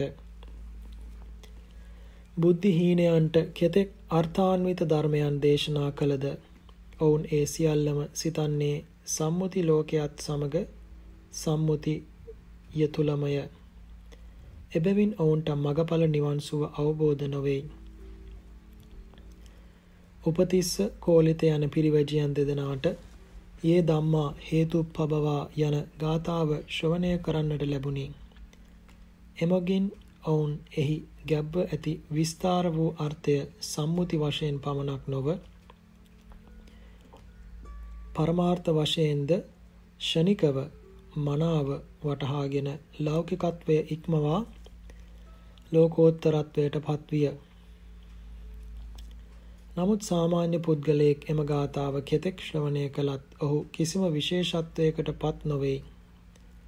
මන්ද ඒ සම්බන්ධව සියල්ලක්ම ඔහු කල්පනා කරන්නේ සම්මුති ධර්මයන් සමග වන නිසාය. ෂණික ධර්මාභිසමයකට පත්වන්නට නම් පූජිත පාරමී බලයෙන් ලද උතුම් ප්‍රඥා මහිමයක් තිබිය යුතුය. කාරණා මෙසේ හේයින්ද බුදුදහමේ එකම ඉලක්කය වන නිවන් සුව සලසා ගැනීම සඳහා අනුගමනය කළ යුත්තේ කෙසේ වූ ප්‍රතිපත්ති මාර්ගයක්ද යන්න තම තම නැන පමණින් සලකා ගත යුතුය. සීලයෙන් තොර සමාධියක් නැත. සමාධියෙන් තොර යථාභූත ඥානයක් නැත. යථාභූත ඥාන දර්ශනය නැතිව ආර්ය අෂ්ටාංගික මාර්ගයක් නැත. මෙසේ මේ උතුම් මාර්ගය අනුගමනය කොට නිවන් දැකීමට නම් ඒ හා සරිලන මනා වීරයක් තිබිය යුතුය. අති ගම්බීර වූ අසංකත වූ විසංකාර වූ මෙම නිර්වාණ ධාතුව ඊතා වේගවත් වූ ඊතා ලිහිල් වූ හෝ මානසිකාරයකින් ප්‍රත්‍යක්ෂ කළ නොහැක. එබැවින් තම හිත තම හිත සැප කැමති සත්පුරුෂයන් විසින් අනන්ත දුක් ඇති මේ සසරට නොඇලී සකල සංස්කාර ධර්මයන් කෙරෙහිම පවත්නා ඒකාන්ත ස්වභාවයක් වූ ත්‍රිලක්ෂණ ආකාරය මනාව සලකා අප්‍රමාදීව විදසුන් භාවනාවන්ගේ යෙදී සෝවාන් ආදී සතර මඟ ඵල ප්‍රත්‍යක්ෂ කරගෙන ජාති ජරා මරණ ආදී සතර අපා මරණාදී හා සතර අපා දුකින්ද සකල සංස්කාර දුකින්ද සදහටම අත්මිද තණ්හක්කය විරාග නිරෝධ නම් වූ ශාන්ති ලක්ෂණ අමෘත මහා නිර්වාණ ධාතුව ප්‍රත්‍යක්ෂ කර ගැනීමට নিরතුරුවම උත්සාහ කෙරෙත්වා. චිරං තිට්ඨතු ලෝකස්මින් සම්මා සම්බුද්ධ ශාසනං පුණ්‍යානුමෝදනය. සුගත තථාගත අපතිලෝ ගුරු සම්මා සම්බුදු රජාණන් වහන්සේගේ සම්බුදු සසුන දනන් සිත් සතන් ධර්ම විනය තුලින් ප්‍රබෝධමත් කරවමින් වස් 5000ක් කල් පවතින්නේමය. උච්චාවචයනයෙන් මෙසේ මෙය සිදු වෙත්ම සසුන පොබයන හොබවන ශාසන බාරධාරී මහෝත්තමයන් වහන්සේලා වරින් වර ලොව පහළ වී සසුනද රක්ෂා කරමින් පූර්ණ කාල පැවැත්මට පෙරද මෙකලද අනාගතයෙහිද පහළවන්නේමය.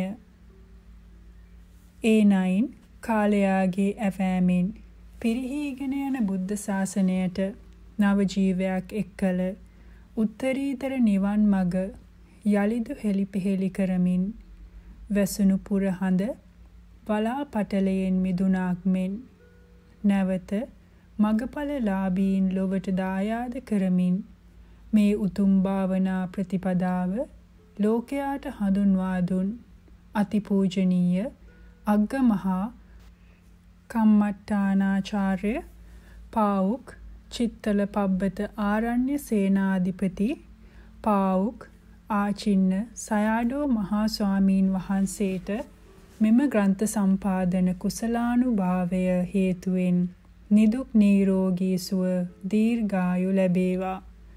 සසර ගමනේ සුවසේම සමතිංශත් පාරමී දම් පුරාගෙන මතු ඒකාන්තයෙන්ම සම්මා සම්බුද්ධ රාජ්‍ය ලැබුණු පිණිසම මේ කුසල් සම්භාරය හේතු වාසනා වේවා. උත්තරීතර වූ මෙම ප්‍රතිපත්ති මාර්ගය ප්‍රායෝගිකව පුහුණු කර එමගින් මනා වූ ප්‍රතිඵල උදාපත් කරගෙන නියම මග නිවෙන මග උතුම් මග මෙයයි දැක දැන පසක් කොට ගනිමින් මෙය මැනවැයි අනුමත කොට වදාලා ඌද ශ්‍රී ලංකා වාසී යෝගාවචරයාණන් වහන්සේලාටද මෙම භාවනා මාර්ගය හඳුන්වා දුන්. ලෝවැසියන්ට දහමින් සෙතින් සලසමින් සාසනාභිවෘද්ධිකාමීව විරාජමානව ලක් බුදු සසුන බබලවමින් වැඩ සිටි අපවත් වී වදාළ බෝධිසත්ව ගුණෝපේත අති ගෞරවනීය මහා කර්මස්ථානාචාර්ය ත්‍රිපිටක විශාරද නායනේ අරිය ධම්මා බිධාන මහා ස්වාමීන් වහන්සේටද අසංඛ්‍ය සංකත සත්වයන් සසරින් දුකින් අතමුදවා නිවන් පුර යොමු වනුවස්. ලෝතුරු බුදු බව ලැබීම පිණිසම මේ උදාරතර පුණ්‍ය නිදානය හේතු වාසනා වේවා. සොඳුරු බැව් දරා කටුක බැව් රෑ දිවා අවැසි බාධක නොතකා ශාසන චිරස්ථිතිය උදෙසාම අපිරිමිත. එහෙත් නිහඬ වූ උතුම් සසුන් මෙහෙවරක නියැලෙන අනෙක් බාධක කම්කටොළු ඉවසන ආදර්ශකාමී උතුම් ගුණයෙන් යුතු සිය දහස් දස දහස් ගණන් දෙස් විදෙස් ගිහි පැවිදි යෝගීන් හට අව්‍යාජව පතල මෙත් මුදිතා ගුණයෙන් සෙත සලසන.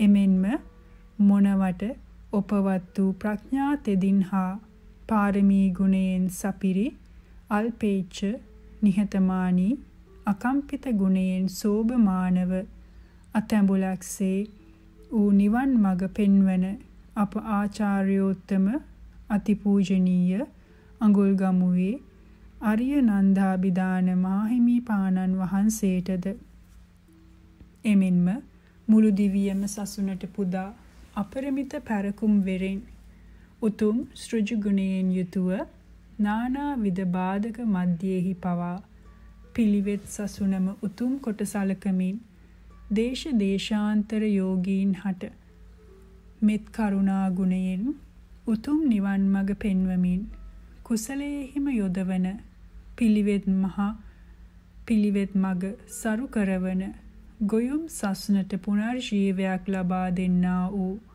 අප ආචාර්යෝත්තම පූජ්‍යපාද සීලගම ඥානසිරි ස්වාමීන් වහන්සේ යන මහා කර්මස්ථානාචාර්ය ගුරු දේවෝත්තමයාණන් වහන්සේලාගේ උතුම් පාරමී ජීවිත මෙම ධර්ම ග්‍රන්ථය සම්පාදන කුසලානි සංසබෙලෙන් සිල් සුවඳින් ගුණ සුවඳින් සදහම් සුවඳින් නිවන් අමා සුවඳින් ඒක සුගන්ධවත් වෙත්වා. මෙපින් බලෙන් ඒ උතුමන් පතන බෝධියකින් චතුරාර්ය සත්‍ය ධර්මය අවබෝධ කරගෙන සසර දුකින් සදහටම අත්මිදෙත්වායි අපරමිත වූ හදපිරි ගුරු පැතියෙන් ආශිර්වාද කරමි. මෙම ග්‍රන්ථය සැකසීමේදී තම කාලය ශ්‍රමය කැපකොට අක්ෂර කරන සෝදුපත් බැලීම් සේම නන් අයුරින් උපකාර වූ සීල වෘද්ධ ගුණ වෘද්ධ තපෝ වෘද්ධ ගුණයෙන් මොනවට පිරිපුන් වූ බුදුහිමි වදාහල තෙවලාදම් කඳ තම මූවින් ලොවේ සත වෙත පතුරවමින් හුදී ජන සිත් සනසමින් පහන් සංවේගය දනවමින් සසුනේහි ගුණ පුරන පූජ්‍යපාද නිකපිටියේ ගුණරත්න ස්වාමීන් වහන්සේගේ පුණ්‍යකාමී ජීවිතයට මේ උතුම් කුසල ආශිර්වාදයක් වේවා. උන්වහන්සේට පතන අධිගම බෝධියකින් අමා මහ නිවන් සුව අත් වේවා.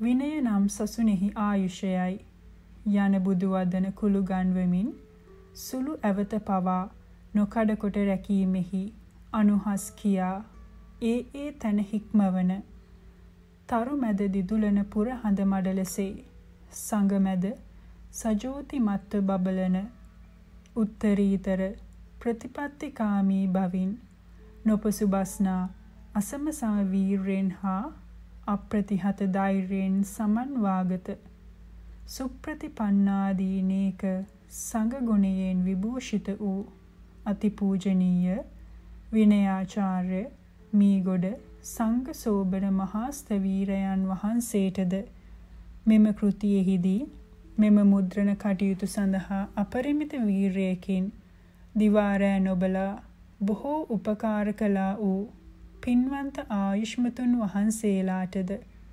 සෝදුපත් බැලීම් සිදු කළ ස්වාමීන් වහන්සේලා සියලු දෙනාටද නායන ආරණ්‍ය සේනාසනයේ වැඩවසන සෙසු සංඝ පීත්‍රූන් වහන්සේලාටද එහි නේවාසික භික්ෂූන්ට අධ්‍යාපනය ලබා දෙන ගුරු උතුමන් වහන්සේලාටද නායුන සෙනසුනේහි වසන සියලුම කල්යාණ මිත්‍ර සබ්‍රක්‍මචාරීන් වහන්සේලා සෑම දෙනාටමත් යෝගාශ්‍රම වාසී මෙලක මෙදියත සියලුම මහා සංඝරත්නයට මේ අති උදාරතර කුසලානිසංස ධර්ම බලයෙන් ආයුරාරෝග්‍යාදී සැප සම්පත් අභිවර්ධනය වෙත්වා.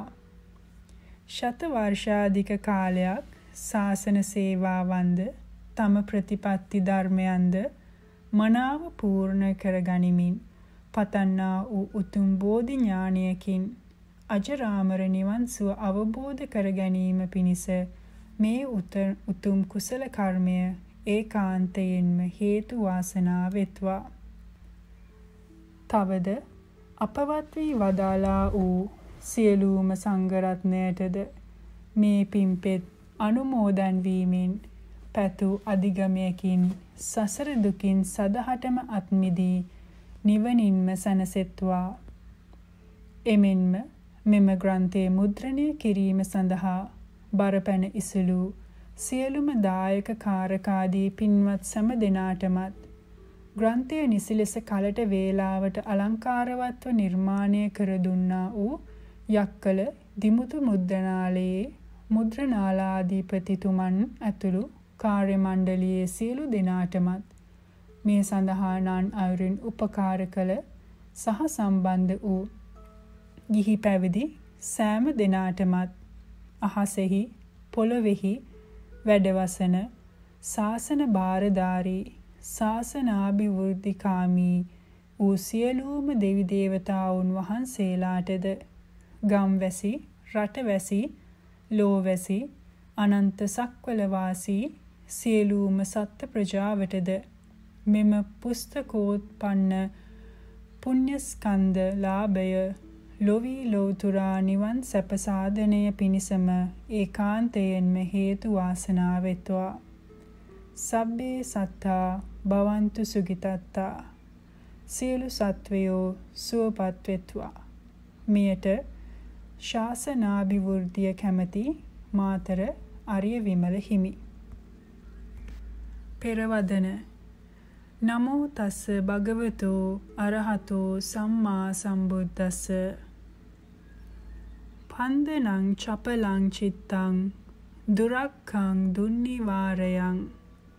උජුකං කරෝති මේ දාවී උසුකාරෝව තේජනಂತಿ ධම්මපදය චිත්ත වර්ගය සැලෙන චපල රැකීමට අපහසු වලක්වා ගත නොහැකි සිත වනාහි ගින්න භාවිතයෙන් ඊ දඬු සෘජු කරන්නාසේ. පඬිවරයා තමාගේ සිත සෘජු කරගනි. අදාන්ත අසංවර සිත ලෝභයෙන්, ద్వේෂයෙන්, මෝහයෙන් ග්‍රහණය වී ඇති බැවින් සැපයට, සතුට නුවණ ඈත් කරමින් වික්ෂිප්තව පැවතීම සසර ගමනේහි දුක් පීඩා ලැබීමට හේතු වේ. මේ කාරණය වටහාගත් තථාගත සම්මා සම්බුදුරජාණන් වහන්සේ චිත්ත સંතානයේ අදාන්ත අසංවරකම් උගුල්වා දමා ඥානාන්විත චිත්ත સંතානයක් ගොඩනගා ගනිමින් ශාන්ත වූ මනසක් ඇති කර ගන්නා මාර්ගය පැහැදිලිව දේශනා කරන ලදී. මෙකී දේශනාව ආර්ය අෂ්ටාංගික මාර්ගයේ හෙවත් සීල සමාධි ප්‍රඥා දියුණුවන මාර්ගය ලෙස පැහැදිලිව දේශනා කොට ඇත. සීලය නම් යහපත් ජීවිතයක් ගොඩ නැගීමයි. තමාට ලෝකයාට වැඩදායක ශික්ෂා පදගරුත්වයක් ඇති මෛත්‍රී ගුණාංග පිහිටුවාගත් අවිහිංසාවාදී ජීවිතයක් ස්ථාපිත කරවාලීම සීලේහි ස්ථාපිත බවයි. සිතෙහි වික්ෂිප්තකම් ඉවත් කොට එකඟ වූ සිතකින් කටයුතු කිරීමට පුහුණු කිරීම සමාධි පුහුණුවන අතර එකී සමාධි ස්වභාවයන් ස්ථාපිත බව සමාධි පරිපූර්ණය ලෙස දේශනා කොට ඇත. සිතෙහි අනුවණකම් මග හරවමින් නුවණැති චිත්ත સંතානයක් පුහුණු කරවීම ප්‍රඥා පුහුණුවයි. එකී ප්‍රඥාවන්ගේ ස්ථාපිත බව ප්‍රඥාව ලෙස දේශනා කර ඇත. මෙකී දහම් මග වර්තමානය දක්වාම ඊතා පැහැදිලිව නිවැරදිව ආරක්ෂා වෙමින් පැවතුණු අතර වර්තමානයේදී බිහි වූ අතිශ්‍රේෂ්ඨ පණිවරයෙක් වන අතිපූජනීය පාවුක් සයාඩෝ හෙවත් සයාඩෝ වූ ආචින්න ස්වාමීන් වහන්සේ විසුද්ධි මාර්ගයේ ඉගැන්වෙන දහම් මඟ භාවිතයට ගනිමින් පාවුක් භාවනා මාර්ගයේ හෙවත් සීල සමාධි ප්‍රඥා දියුණු කරන මාර්ගය ඊතා පැහැදිලිව පුහුණු කොට දහස් ගණනක ශිෂ්‍ය පිරිසක් ලොවට බිහි කරමින් බුදු දහමේ ඉගැන්වීම් සනාත කර ඇත. එකී ඉගැන්වීම් පුහුණුවලත් මාතර අරිය විමල ස්වාමීන් වහන්සේ තම අත්දැකීම්ද ගුරු උපදෙස්ද භාවිතා කරමින් මෙම වටිනා ධර්ම ග්‍රන්ථය බොහෝ කලක් කැප වී සංස්කරණය කරන ලදී. බොහෝ පැහැදිලිව කරුණු ඉදිරිපත් කොට ඇති මෙම ග්‍රන්ථය මනා ලෙස කියවා බුදුදහමේ හරය තේරුම්ගෙන ඉදිරි මඟ අනුගමනය කරමින් දහම් සැපිය විඳ ගැනීමට සියලු දෙනාටම හැකියාව ලැබේවායි මෙත් සිතින් ප්‍රාර්ථනා කරමි. සංස්කරණය කළ ස්වාමීන් වහන්සේට පරිපූර්ණ දහම් සුවය වින්දනය කර ගැනීමට හැකියාව ලැබේවායි. ආශිර්වාද කරමි. දහම්මග කියා දුන් අතිපූජනීය පාවුක් ආචින්න සයාඩෝ මාහිමි පාණන් වහන්සේටත්. ශ්‍රී කල්යාණී යෝගාශ්‍රමාධිපතිව වැඩ සිට අපවත් වී වදාළ අතිපූජනීය නා උයනේ අරිය ධම්ම මාහිමි පාණන් වහන්සේටත්. පූජනීය මීගොඩ සංඝසෝබන මාහිමි පාණන් වහන්සේ ඇතුළු සියලුම ස්වාමීන් වහන්සේලාට මෙම කුසල බලය හේතුවෙන් ශතවර්ෂාධික කාලයක් දීර්ඝායු ශ්‍රී සම්පත් වින්දනය කරමින් දහම් සුවේ විඳ ගැනීමට ලැබේවායි ආශිර්වාද කරමි. ඊතා කැපවීමෙන් මෙහි යතුරු ලියන ලේඛන කටයුතු කරමින් විශාල කෘත්‍යයක් කොට සහාය ලබා දුන් පූජ්‍ය නිකපිටියේ ගුණරත්න ස්වාමීන් වහන්සේටද දහම් සුවේ වින්දනය කර ගැනීමට ලැබේවායි ආශිර්වාද කරමි. පූජ්‍ය සීලගම ඥානසිරි ස්වාමීන් වහන්සේද ගුරු උපදෙස් ලබා දෙමින් භාවනා මාර්ගය කියා දෙමින් ග්‍රන්ථිය වෙනුවෙන් ලබා දුන් සහයෝගය හේතුවෙන් දහම් සැනසීම ලැබේවායි ආශිර්වාද කරමි. එමෙන්ම නාන්නායුරින් සහයෝගය ලබා දුන් සැමටත් මුද්‍රණ කටයුතු සඳහා දායකත්වයේ දැක්වූ සැමටත් දෙවියන් සහිත ලෝවැසියන්ටත් සදාකාලික වූ දහම් සැනසෙල්ල පිණිසම මෙම පුණ්‍ය කර්මයන් මහෝපකාරී වේවා. මෙයට නායන අරණ්‍ය වාසී අඟුල්ගමුවේ අරියනන්ද ස්වාමීන් වහන්සේ ප්‍රස්තාවනාව නමෝ තස්ස භගවතෝ අරහතෝ සම්මා සම්බුද්දස්ස සබ්බදා සීලෝ සම්පන්නෝ පංචවා සුසමාහිතෝ ආරද්ධ විරියෝ පහිතත්තෝ ඕගං තරති දුත්තරං සමකල්හි සීලවන්ත වූ සමාධිමත් වූ ප්‍රඥාවන්ත වූ පටන් ගන්නා ලද වීරය ඇති නිවන් පිණිස මෙහෙයන ලද සිත් ඇති යෝගාවචර තෙමේ ඊතර විය නොහැකි කාමාදී චතුර්විධ ඕගෙන් ඊතර කරන්නේය. කල්පගෝටි අසංඛ්‍ය ගණනින්ද පමණ කළ නොහැකි තරම් අති දීර්ඝ කාලයක් මුළුල්ලෙහි අතිශය දුෂ්කර ක්‍රියාවන්හි යෙදෙමින් පාරමී දම් පුරන ලද මහා බෝධිසත්වයන් වහන්සේලා සංසාර ඛේදයට හසුව දුක් විඳින අපමණ සත්වයන් එම දුක් වලින් නිදහස් කරවීම පිණිස ලෝතුරා බුදු බවට පැමිණෙති. එලෙස ලොව පහළවන බුදුරජාණන් වහන්සේ අතීතය පිළිබඳ වූද අනාගතය පිළිබඳ වූද වර්තමානය පිළිබඳ වූද යම්තාක් දතයුතු ධර්මයෝ වෙද්ද ඒ සියල්ල අතැඹුලක්සේ මනාව අවබෝධ කොට වදාළසේක සංසාර විකාර ලක්කන ප්‍රඥප්ති නිර්වාණය යන අවබෝධ කළ යුතු සියලු ධර්මයන් පර උපදේශ රහිතව තමන් වහන්සේ විසින්ම අවබෝධ කොට වදාළසේක. එබැවින් ඒ භාග්‍යවතුන් වහන්සේ සම්මා සම්බුද්ධ නම් වනසේක. එහි සංස්කාර නම් අටලොස් ධාතු නිෂ්පන්න රූප හා දෙපනස් චෛතසික ධර්මයන්ය යන එක් සත්‍යය ධර්මයෝය. විකාර නම් කාය විඤ්ඤාති වචී විඤ්ඤාති ලහුතා මුදුතා කම්මඤ්ඤතා යන මේ ධර්ම පහය. ලක්ෂණ නම් උපචය සන්තති ජරතා යන ධර්ම තුනය. ප්‍රඥප්ති නම් ඒ ඒ පද අර්ථයන්හි විශේෂයෙහි නගන පැනවීමය. නිර්වාණය නම් හේතු ප්‍රත්‍යයෙන් හට නොගන්නා වූ අසංකත ධාතුව නම් නිවනය. මේ කාරණාවන් ධර්මයන් දන්නා නුවණට සර්වඥතා ඥානයයි කියනු ලැබේ.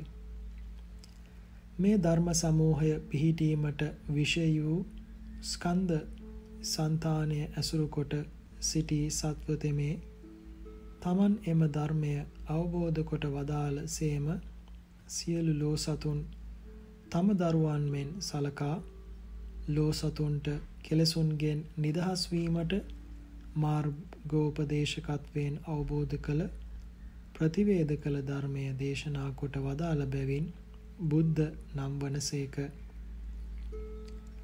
මෙලෙස බුදුරජාණන් වහන්සේ විසින් දේශනා කොට වදාළ ධර්ම මාර්ගය අනුගමනය කරන්නවුන් සියලු සංසාරගත දුක්ඛයන්ගෙන් නිදහස්ව නිවනට පැමිණෙති.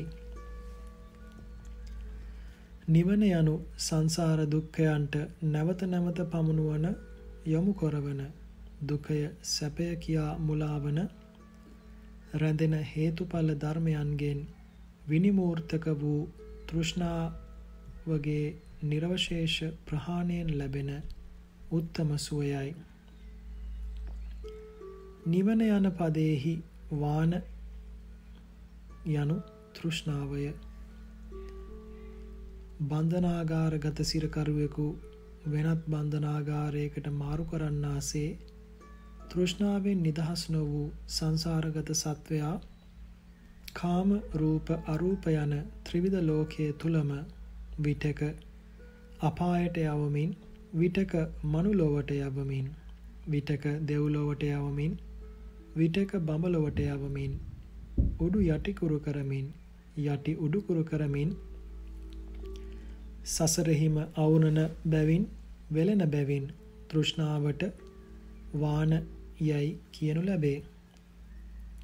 නි යනු උපසර්ග පදයකි.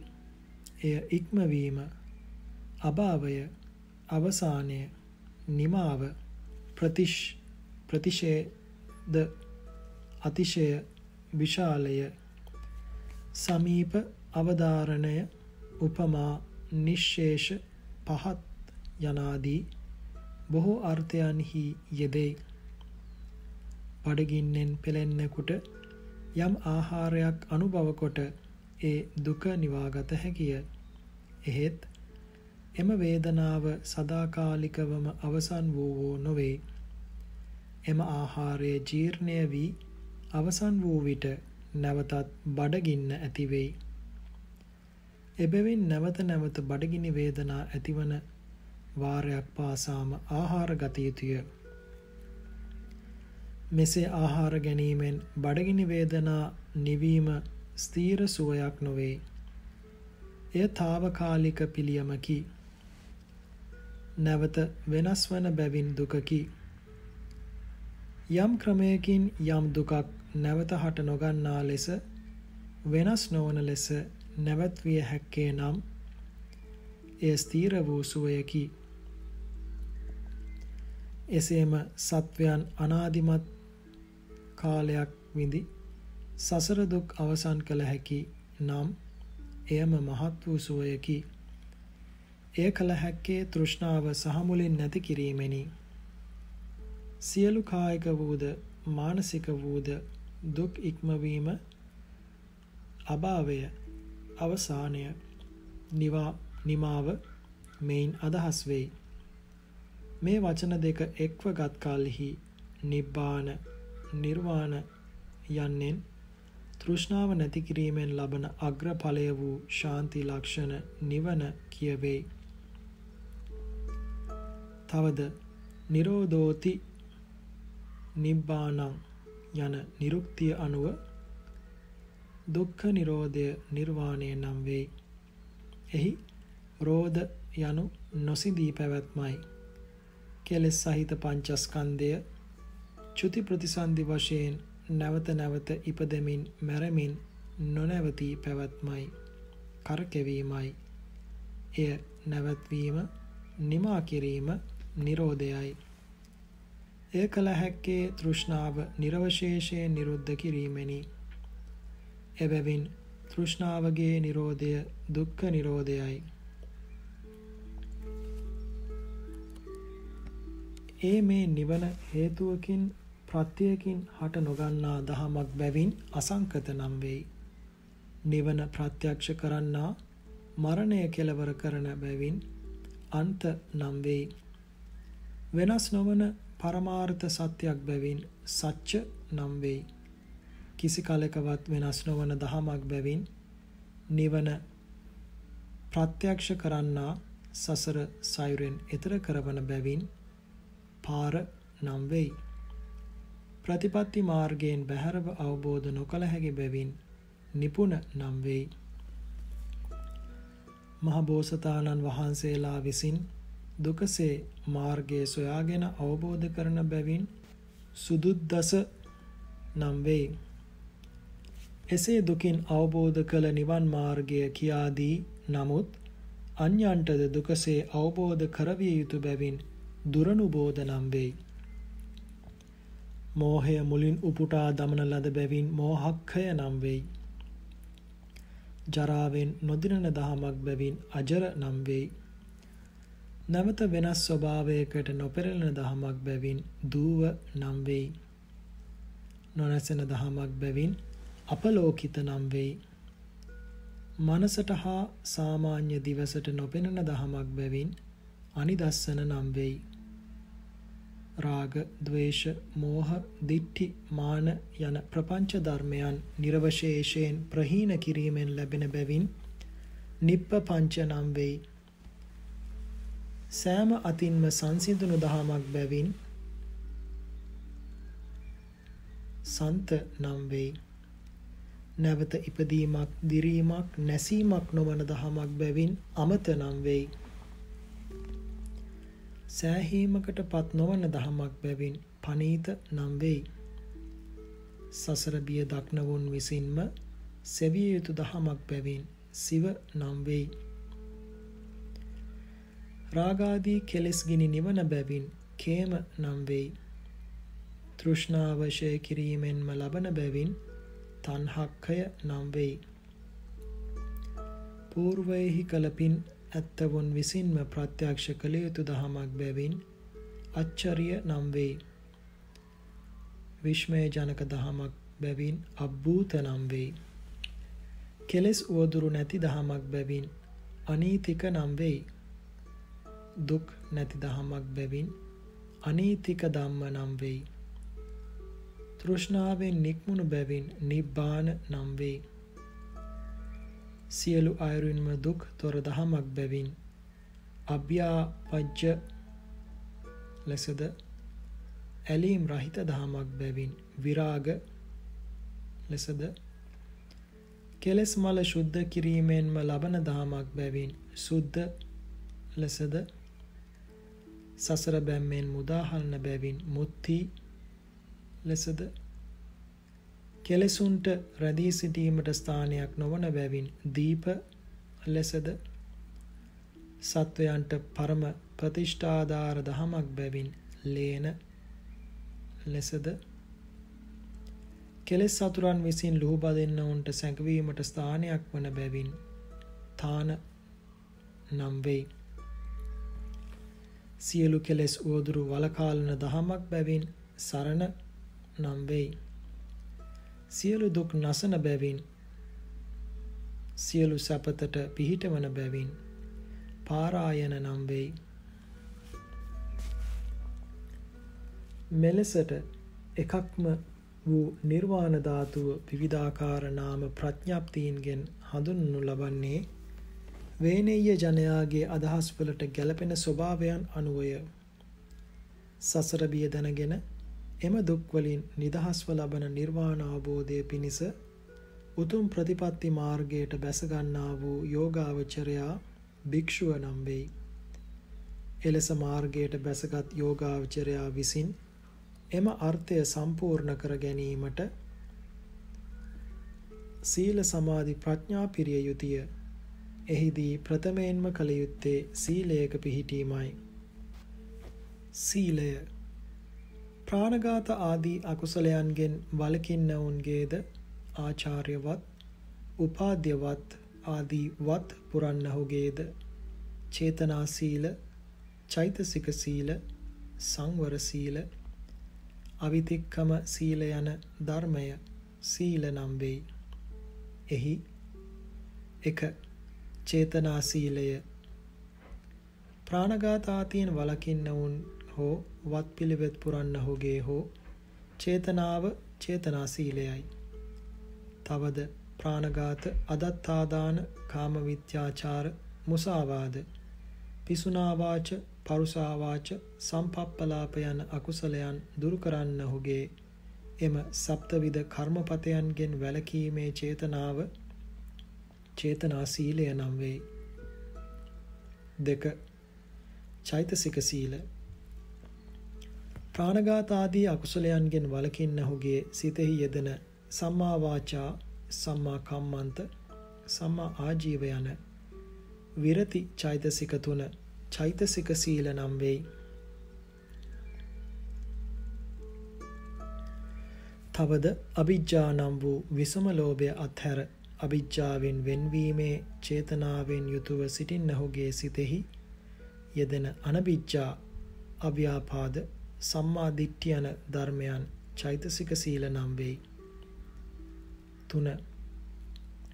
සංවර සීල ප්‍රාතිමෝක්ෂ සංවරය සති සංවරය ඥාන සංවරය කන්ති සංවරය විරිය සංවරය යන පංචවිධ සංවරය මෙහි සංවර සීලය නමි. ප්‍රාතිමෝක්ෂ සංවරය යනු යෝනං ජාති රක්ඛති තං මොක්ඛේති මෝචේති අපායිකාදීහි දුක්ඛේහි තස්මා පාතිමොක්ඛ නන්ති වුත්තං යමෙක් යම් සීලයක් ආරක්ෂා කරයිද එම සීලය විසින් ඔහු අපාය ආදී දුක්වලට වැටෙන්නේට නොදී රැකගනීද? එයින් එම සීලය ප්‍රාතිමෝක්ෂයයි කියනු ලැබේ. තවද මේ පාතිමෝක්ඛ යන වචනයෙන් පාති යන්නෙන් අර්ථය මෙසේ දැක්වෙයි කෙලසුන්ගේ බලවත් බවට හේතුකොට පව් කිරීමේ පහසුකම් හේතුවෙන්ද පින් කිරීමේ අපහසුකම් හේතුවෙන්ද පුහුදුන් සත්වයන් නොයෙක්වර අපායෙහි හෙලීමට සමත් වන බැවින් එම සියලු පව්කම් පාති නම් වෙයි. එම පුහුදුන් සත්වයන් අපායට හෙළෙන අකුසලයන් අත්හැර සසර දුක් අවසන් කොට නිවනට පමුණුවන සීලය මොක්ඛ නම් වෙයි. මෙලෙස අකුසල් හේතුවෙන් අපායෙහි වැටීමට සමත් පුහුදුන් සත්වයා එම දුක් වලින් ගලවා නිවනට පමුණුවන සීලය වූ ගිහි පැවිදි සියලු සීලයන් ප්‍රාතිමෝක්ෂ සංවර සීලය නම් වෙයි. සති සංවරය ඇසකන නාසය දිවකය යන දොරටු පහ සංවර කර ගැනීම සති සංවරය නම් වෙයි. ඥාන සංවරය සෑම ක්‍රියාවකදීම කෙලෙස් අරමුණු ඇතිවීමට ඉඩ නොදී සිහිනුවනින් යුතුව පැවතීම ඥාන සංවරය නම් වෙයි. කන්ති සංවරය සීත උෂ්ණ බඩගිනි පිපාස මැසිමදුරු පීඩා ආදී සියලු දේවල් කෝපයට නොපැමිණ ඉවසීම කන්ති සංවරය නම් වෙයි. විරිය සංවරය කාම විතර්ක ව්‍යාපාද විතර්ක විහිංසා විතර්ක ආදී අකුසල විතර්ක ඇතිවීමට ඉඩ නොදී අඛණ්ඩව කමඨහන් සිහියෙන් ක්‍රියා කිරීම විරිය සංවරය නම් වේ. හතර අවිතික්කම සීල සීල සමාදන් වූ සමාදන් වූ සීලය නොවිද ආරක්ෂා කිරීම අවිතික්‍රම සීලය නම් වේ. ඉහතකී සංවර සීලයම අවිතික්‍රම සීලය නම් වෙයි. මෙලෙස ප්‍රාණඝාතාදී අකුසල ක්‍රියාවලින් වැළකීමද තථාගතයන් වහන්සේ විසින් පනවා වදාළ සිකපද රැකීමද වත්පිළිවෙත් සපිරීමද දිවි පැවැත්ම පිරිසිදු කර ගැනීමද සීලය නම් වෙයි. තවද යම් ප්‍රතිපත්තියකින් කාය වාග් ద్వාර දෙක හා දිවි පැවැත්ම පිරිසිදු වේද ඒ ප්‍රතිපත්තිය සීල නම් වෙයි. සීලය ස්ත්‍රී පුරුෂ ගිහි පැවිදි බාලමහලු සැමදෙනාටම සුදුසු ඇඳුමකි. මල් සුවඳ නෝයන දෙව්ලොව බඹලොව දක්වා වූ උඩුසුන ගෙහිද යන්නා වූ පැතිරෙන්නා වූ සුවඳකි.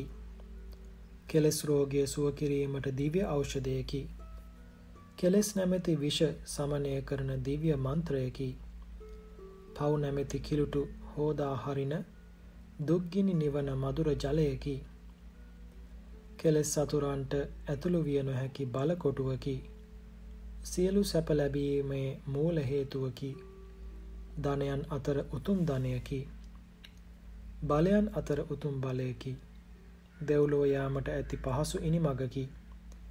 ලොව පහළවන සියලු බුදු පසය බුදු මහරහතන් වහන්සේලාගේ නිවනට පිවිසීමේ තොටුපලකි. නිවිනට පිවිසන දොරටුවකි. සීලන අර්ථයෙන් සීලයයි කියනු ලැබේ. සීලන අර්ථය නම් සමාදානය හා උපධාරණයයි. එයින් කුසල සිතින් කරන කටයුතු වලට විසිරයාමට නොදී එකග සිතින් කළ හැකි බව සමාදානයයි. කුසල ධර්මයන්ට උදව්වීම රැකවරණය ලබාදීම උපධාරණයයි. ධ්‍යාන මාර්ගඵල ප්‍රතිලාභයට මූලය භූමිය සීලය වෙයි. සීලයෙහි ලක්ෂණය නීලාදී නොයෙක් වර්ණයන්ගෙන් යුක්ත බව රූපයෙහි ලක්ෂණ වන්නාසේ චේතනා චෛතසික සංවර අවිතික්‍රම යන හතර වැදෑරුම් සීලයෙහි සමාදානය හා උපධාරණය ලක්ෂණයයි. රසය රසය නම් යමකින් කෙරෙන කාර්යයි. සීලේහිද කෘත්‍ය රසය සම්පත්ති රසය යයි දෙවදෑරුම් යයි. එහි සීලේහි කෘත්‍ය රසය නම් දුසිල් බව විනාශ කිරීමයි. සම්පත්ති රසය නම් ධානාදී ගුණ ඉපදවීමයි.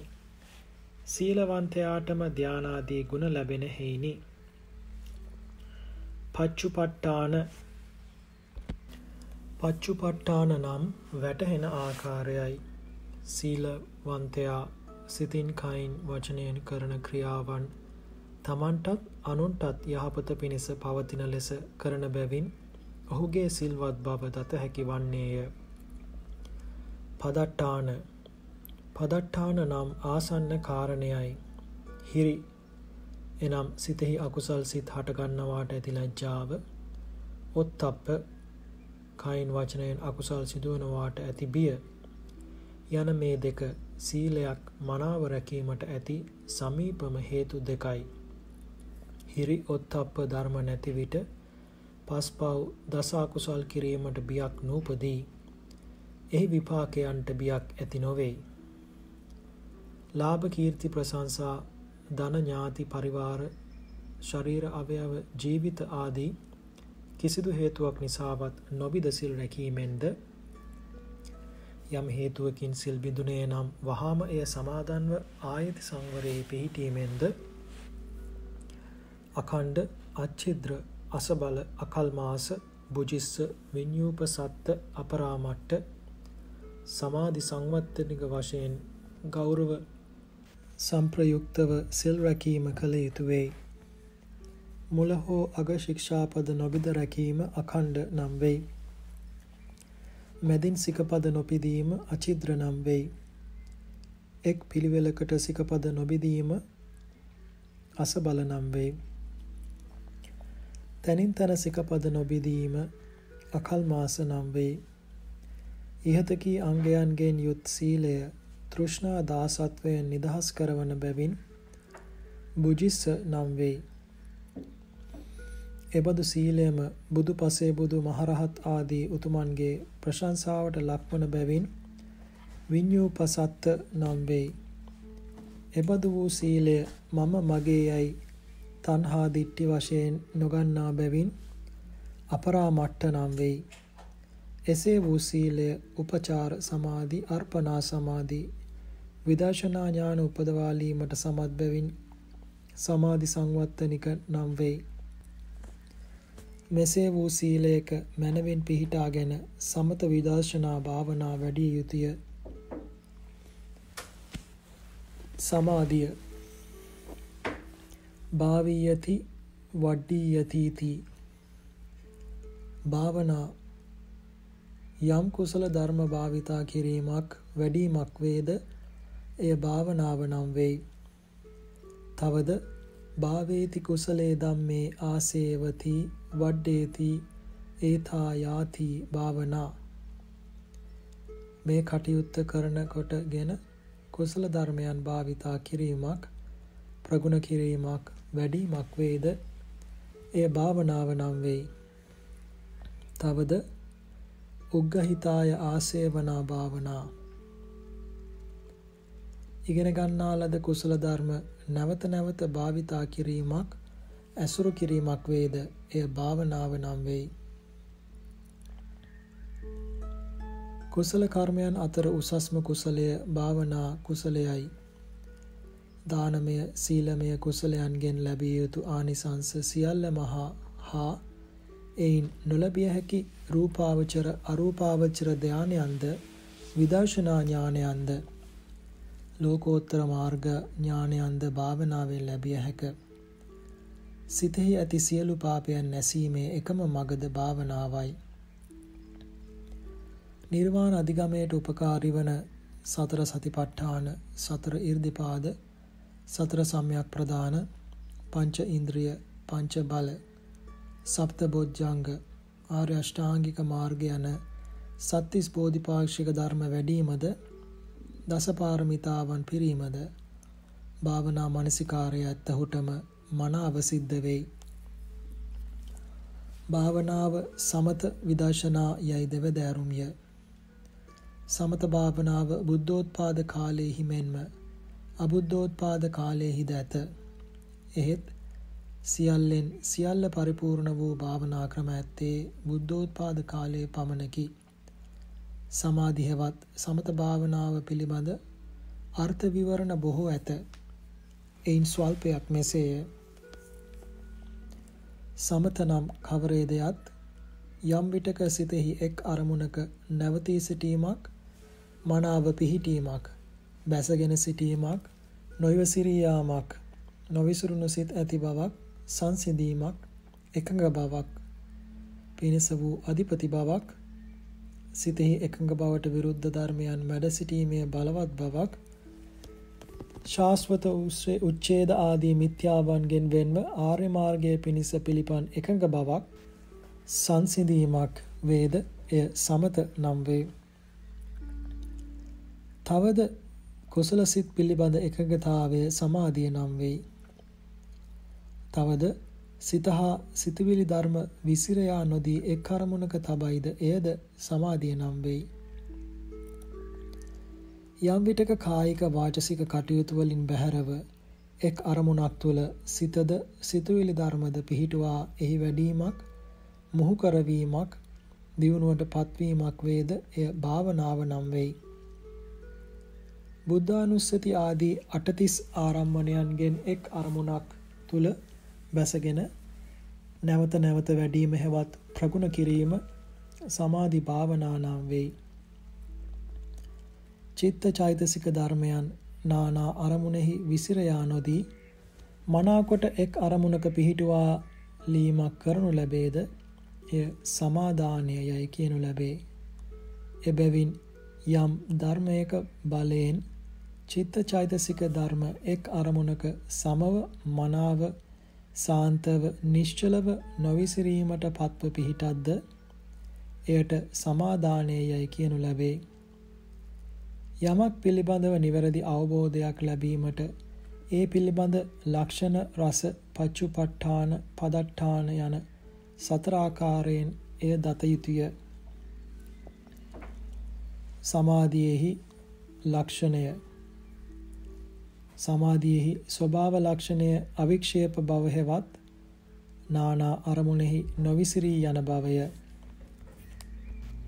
රසය යනු සමාධියෙහි රසය හෙවත් කෘත්‍ය වික්ෂිප්ත බව දුරු කිරීම හෙවත් නොසන්සුන් බව නැති කිරීමයි. පච්චුපට්ඨානය යනු සමාධියෙහි පච්චුපට්ඨානය හෙවත් වැටහෙන ආකාරය උද්දච්චය හේතුවෙන් කම්පා නොවන භවය පදට්ඨානය සමාධියෙහි පදට්ඨානය හෙවත් ආසන්න හේතුව චිත්ත චෛතසික ධර්මයන්ගේ නීරෝගී භව හෙවත් සැපයයි චිත්ත චෛතසික ධර්මයන්ගේ සැපවත් බව ඇතිවීමට ඇති විටම සිතක සිත එකඟ වන බැවිනි. ප්‍රඥාව ඒ ඒ ධර්මයන් පිළිබඳ යථා ස්වභාවය හෙවත් ඇත්තා වූ සැබෑ අර්ථය දක්වන අදහසින් ප්‍රඥාව නම් වෙයි. තවද ඇත්තා වූ ස්වභාවය ඒ අයුරින්ම අවබෝධ කිරීමට උපකාර වන දැනුම ප්‍රඥාව නම් වෙයි. තවද ඒ ධර්මයන් හි ඇත්තා වූ නියම ස්වභාවයන් ඉතිරි නොකර ගැඹුරටම බැස දැකීමට දැනුම ප්‍රඥාව නම් වෙයි. ප්‍රඥාව නානාවිද ප්‍රභේද වලින් දැනගැනීමේ අර්ථයෙන් ප්‍රඥා නම් වෙයි. නීල පීත ආදී වශයෙන් අරමුණු හැදිනීමේදී අනිත්‍ය ආදී වශයෙන් ලක්ෂණ දැනගැනීමේදී උදේව ඥානාදී වශයෙන් ව්‍යායාම කර ආර්ය මාර්ගය පහළ කිරීමේ ද ප්‍රඥාව සමත් වෙයි. ඒ මේ ප්‍රඥාව දුක පිළිබඳ පරිපූර්ණ අවබෝධයක් ඇති කරවන බැවින් පජානානා නම් වෙයි. පජානනා නම් වෙයි. දුක පිළිබඳ අනිත්‍ය ආදී ලක්ෂණ වශයෙන් සොයා දැනගැනීම විචය නම් වෙයි. චතුරාර්ය සත්‍ය ධර්මයන් සොයා බලා නුවණට හසු කර ගැනීම ධම්ම විචය නම් වෙයි. දුකෙහි ප්‍රකටව ඇති අනිත්‍ය ආදී ලක්ෂණ මනවින් සැලකීම සල්ලක්ෂණා නම් වෙයි. අනිත්‍යාදී ලක්ෂණ ඇසුරු කොට දුකෙහි ස්වභාවය මනාව සලකා බැලීම උපලක්ඛනා නම් වෙයි. අනිත්‍ය ආදී ලෙස නැවත නැවත බැලීම පච්චුපලක්ඛනා නම් වෙයි. අනිත්‍ය ආදී ලක්ෂණ පංචස්කන්ධයේ ගලපා බැලීම වේභාවියා නම් වෙයි. අනිත්‍ය ආදී ලක්ෂණ මනවින් දැකීම සම්පජන්‍ය නම් වෙයි. අනිත්‍ය ආදී ලක්ෂණ මනවින් දැන එහි මුලා නොවීම අමෝහ නම් වෙයි. අනිත්‍ය ආදී ලක්ෂණ තත්වාකාරයෙන් දැනීම පඤ්ඤා නම් වෙයි. අනිත්‍ය ආදී ලක්ෂණ මනමින් දැන එම ලක්ෂණයන්හි ඉසුරුමත් බව පංච ඉන්ද්‍රිය නම් වෙයි. අවිද්‍යාව හේතුවෙන් අනිත්‍ය ආදී ලක්ෂණයන්හි නොසලී පිහිටීම පඤ්ඤා බල නම් වෙයි. කෙලෙස් ඉඳලීමෙහිදී ප්‍රඥාවම ශස්ත්‍රයක් වැනිව සිටින බැවින් පඤ්ඤා සත්ත නම් වෙයි. සම කෙලෙස් බලයක්ම යටකොට ප්‍රඥාවම ප්‍රාසාදයක් වැනිව නැගී සිටින බැවින් පඤ්ඤා පාසාද නම් වෙයි. අනිත්‍යාදී ලක්ෂණ මනවින් දැකීමට ආලෝකයක් වැනිව සිටින බැවින් පඤ්ඤා ආලෝක නම් වෙයි. ප්‍රඥාවේ මනාව පිහිටියහුට තමන් කැමති ඉලක්කයන් සම්පූර්ණ කර දීමට රුවණක් මෙන් සිටින බැවින් පඤ්ඤා රතන නම් වෙයි. මේ ආදී බොහෝ අර්ථ විවරණ ඇත. මේ ප්‍රඥාව ලෞකික ලෝකෝත්තර වශයෙන් දෙවදෑරුම් වෙයි. එහි ගෝත්‍ර භූ චිත්තය කෙලවර කොට ඇති කාම රූප අරූප යන ලෞකික චිත්තයන් හා එක්ව යෙදුණු ප්‍රඥාව ලෞකික ප්‍රඥාව නම් වෙයි. අටවැදෑරුම් වූ ආර්ය මාර්ගඵල සිතෙහි යෙදුණු ප්‍රඥාව ලෝකෝත්තර ප්‍රඥාව නම් වෙයි. ප්‍රඥාවෙහි ලක්ෂණය පඨවි ආදී රූප ධර්මයන්ගේ තද්ද ලක්ෂණ ආදියද ස්පර්ශාශි ස්පර්ශ ආදී අරූප ධර්මයන්ගේ අරමුණෙහි වැද ගැනීම ස්වභාවය ආදී එකෙනෙහි පවත්නා විශේෂ ස්වභාවයන්ද? අනිත්‍ය ආදී සාධාරණ ස්වභාවයන්ද? අවිපරීත අවබෝධයේ ප්‍රඥාවෙහි ලක්ෂණය වෙයි. රසය. නාම රූප ධර්මයන්ගේ ස්වභාව ලක්ෂණ මෝහ කරන මෝහාන්ධකාරය දුරලීම එහි කෘත්‍ය රසය වෙයි. පච්චුපට්ඨාන ඒ ඒ නාම රූප ධර්මයන්හි නොමුලා බව පච්චුපට්ඨානයේ හෙවත් වැටහෙන ආකාරය වෙයි. පදට්ඨාන පදට්ඨාන යනු සමාධි පදට්ඨානයේ හෙවත් ආසන්න කාරණය වෙයි. ඉහත විස්තර කරන ලද සීල සමාධි ප්‍රඥාවන් ගෙන් ත්‍රිවිධ ශික්ෂා ත්‍රිවිධ කල්යාණ සාසන ත්‍රිවිද්‍යාදීන්ට උපනිශ්‍රය උභයාන්තය හැර මධ්‍යම ප්‍රතිපදාව සේවනය අපායාදී සමතික්‍රමණ උපාය ත්‍රිවිධ ක්ලේශ ප්‍රහාණය ව්‍යත්තික්‍රම ආදී ප්‍රතිපක්ෂ භාවය ත්‍රිවිධ සංකිලේශ විශෝධනය සෝතාපට්ටි ආදීන්ට හේතු යන මේ ධර්ම ප්‍රකාශ වෙයි.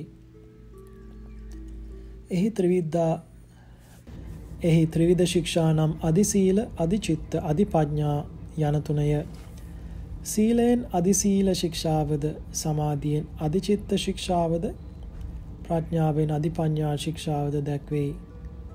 ත්‍රිවිධ කල්යාණ ශාසන නම් ආදි කල්යාණ මජ්ජේ කල්යාණ පරියෝසාන කල්යාණ යන තුනයි. මූලිකව සිතෙහි විපිලිසර බව ආදිය නසන බැවින් සීලය ආදි කල්යාණයි. 이르දි විවිධ ආදී ගුණ උපදවන බැවින් සමාධිය මජ්ජේ කල්යාණයි. ඉෂ්ඨානිෂ්ඨ ආරම්මණයන්ගෙන් නොසලන බැවින් පඤ්ඤාව පරියෝසාන කල්යාණයි. ත්‍රිවිද්‍යා ආදීන්ට උපනිශ්‍රය නම් සීල සම්පත්තිය හේතුවෙන් ත්‍රිවිද්‍යාව ලබයි. ඉන් වැඩි ඉන් වැඩියක් නොලබයි. මෙසේ සීලය ත්‍රිවිද්‍යාවෙන් ලැබීමට උපනිශ්‍රය වෙයි. සමාධි සම්පත්තිය හේතුවෙන් ෂඩ් අභිඥා ලබයි. ඉන් වැඩියක් නොලබයි.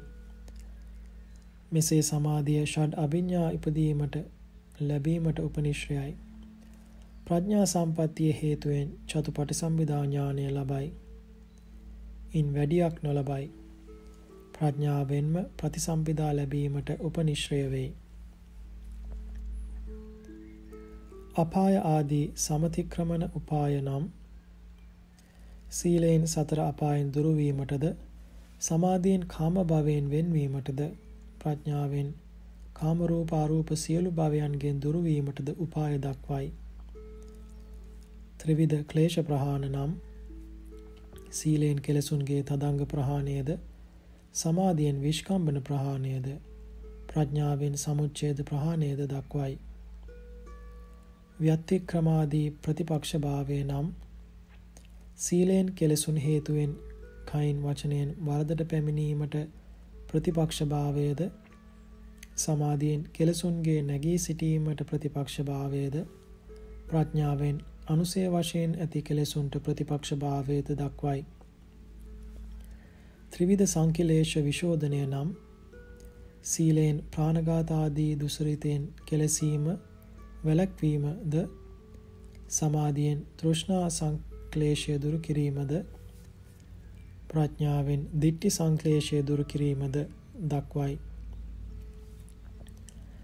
සෝතාපට්ටි ආදීන්ට හේතු නම් සීලය හේතුවෙන් සෝවාන් සකදාගාමි බවට පැමිණීමටද සමාධියෙන් අනාගාමී බවට පැමිණීමද ප්‍රඥාවෙන් අරහත්වයට පැමිණීමද දක්වයි. මෙසේ සීල සමාධි ප්‍රඥා පූර්ණය මනා අවබෝධයකින්ම කළ යුත්තකි. ඒ සඳහා වූ සවිස්තර අර්ථ විවරණ සහිත අගනා ග්‍රන්ථයක් මෙලෙස එළි දැක්වෙන්නේ පූජ්‍ය මාතර අරිය විමල ස්වාමීන් වහන්සේ විසින් තම භාවනා අත්දැකීම්ද ගුරු උපදේශයන්ද උපයෝගී කර ගනිමින්ය. මෙමගින් සම්බුද්ධ ශාසන ප්‍රතිපත්ති මාර්ගය මුලපටන් අග දක්වාම ඊතා පැහැදිලිව දක්වා ඇත. මෙයින් ජනිත කුසල බලයත් මේ ග්‍රන්ථය පරිහරණය කරන සැමගේ ආශිර්වාදයත් පූජ්‍ය මාතර අරිය විමල ස්වාමීන් වහන්සේට හිමි වේවා.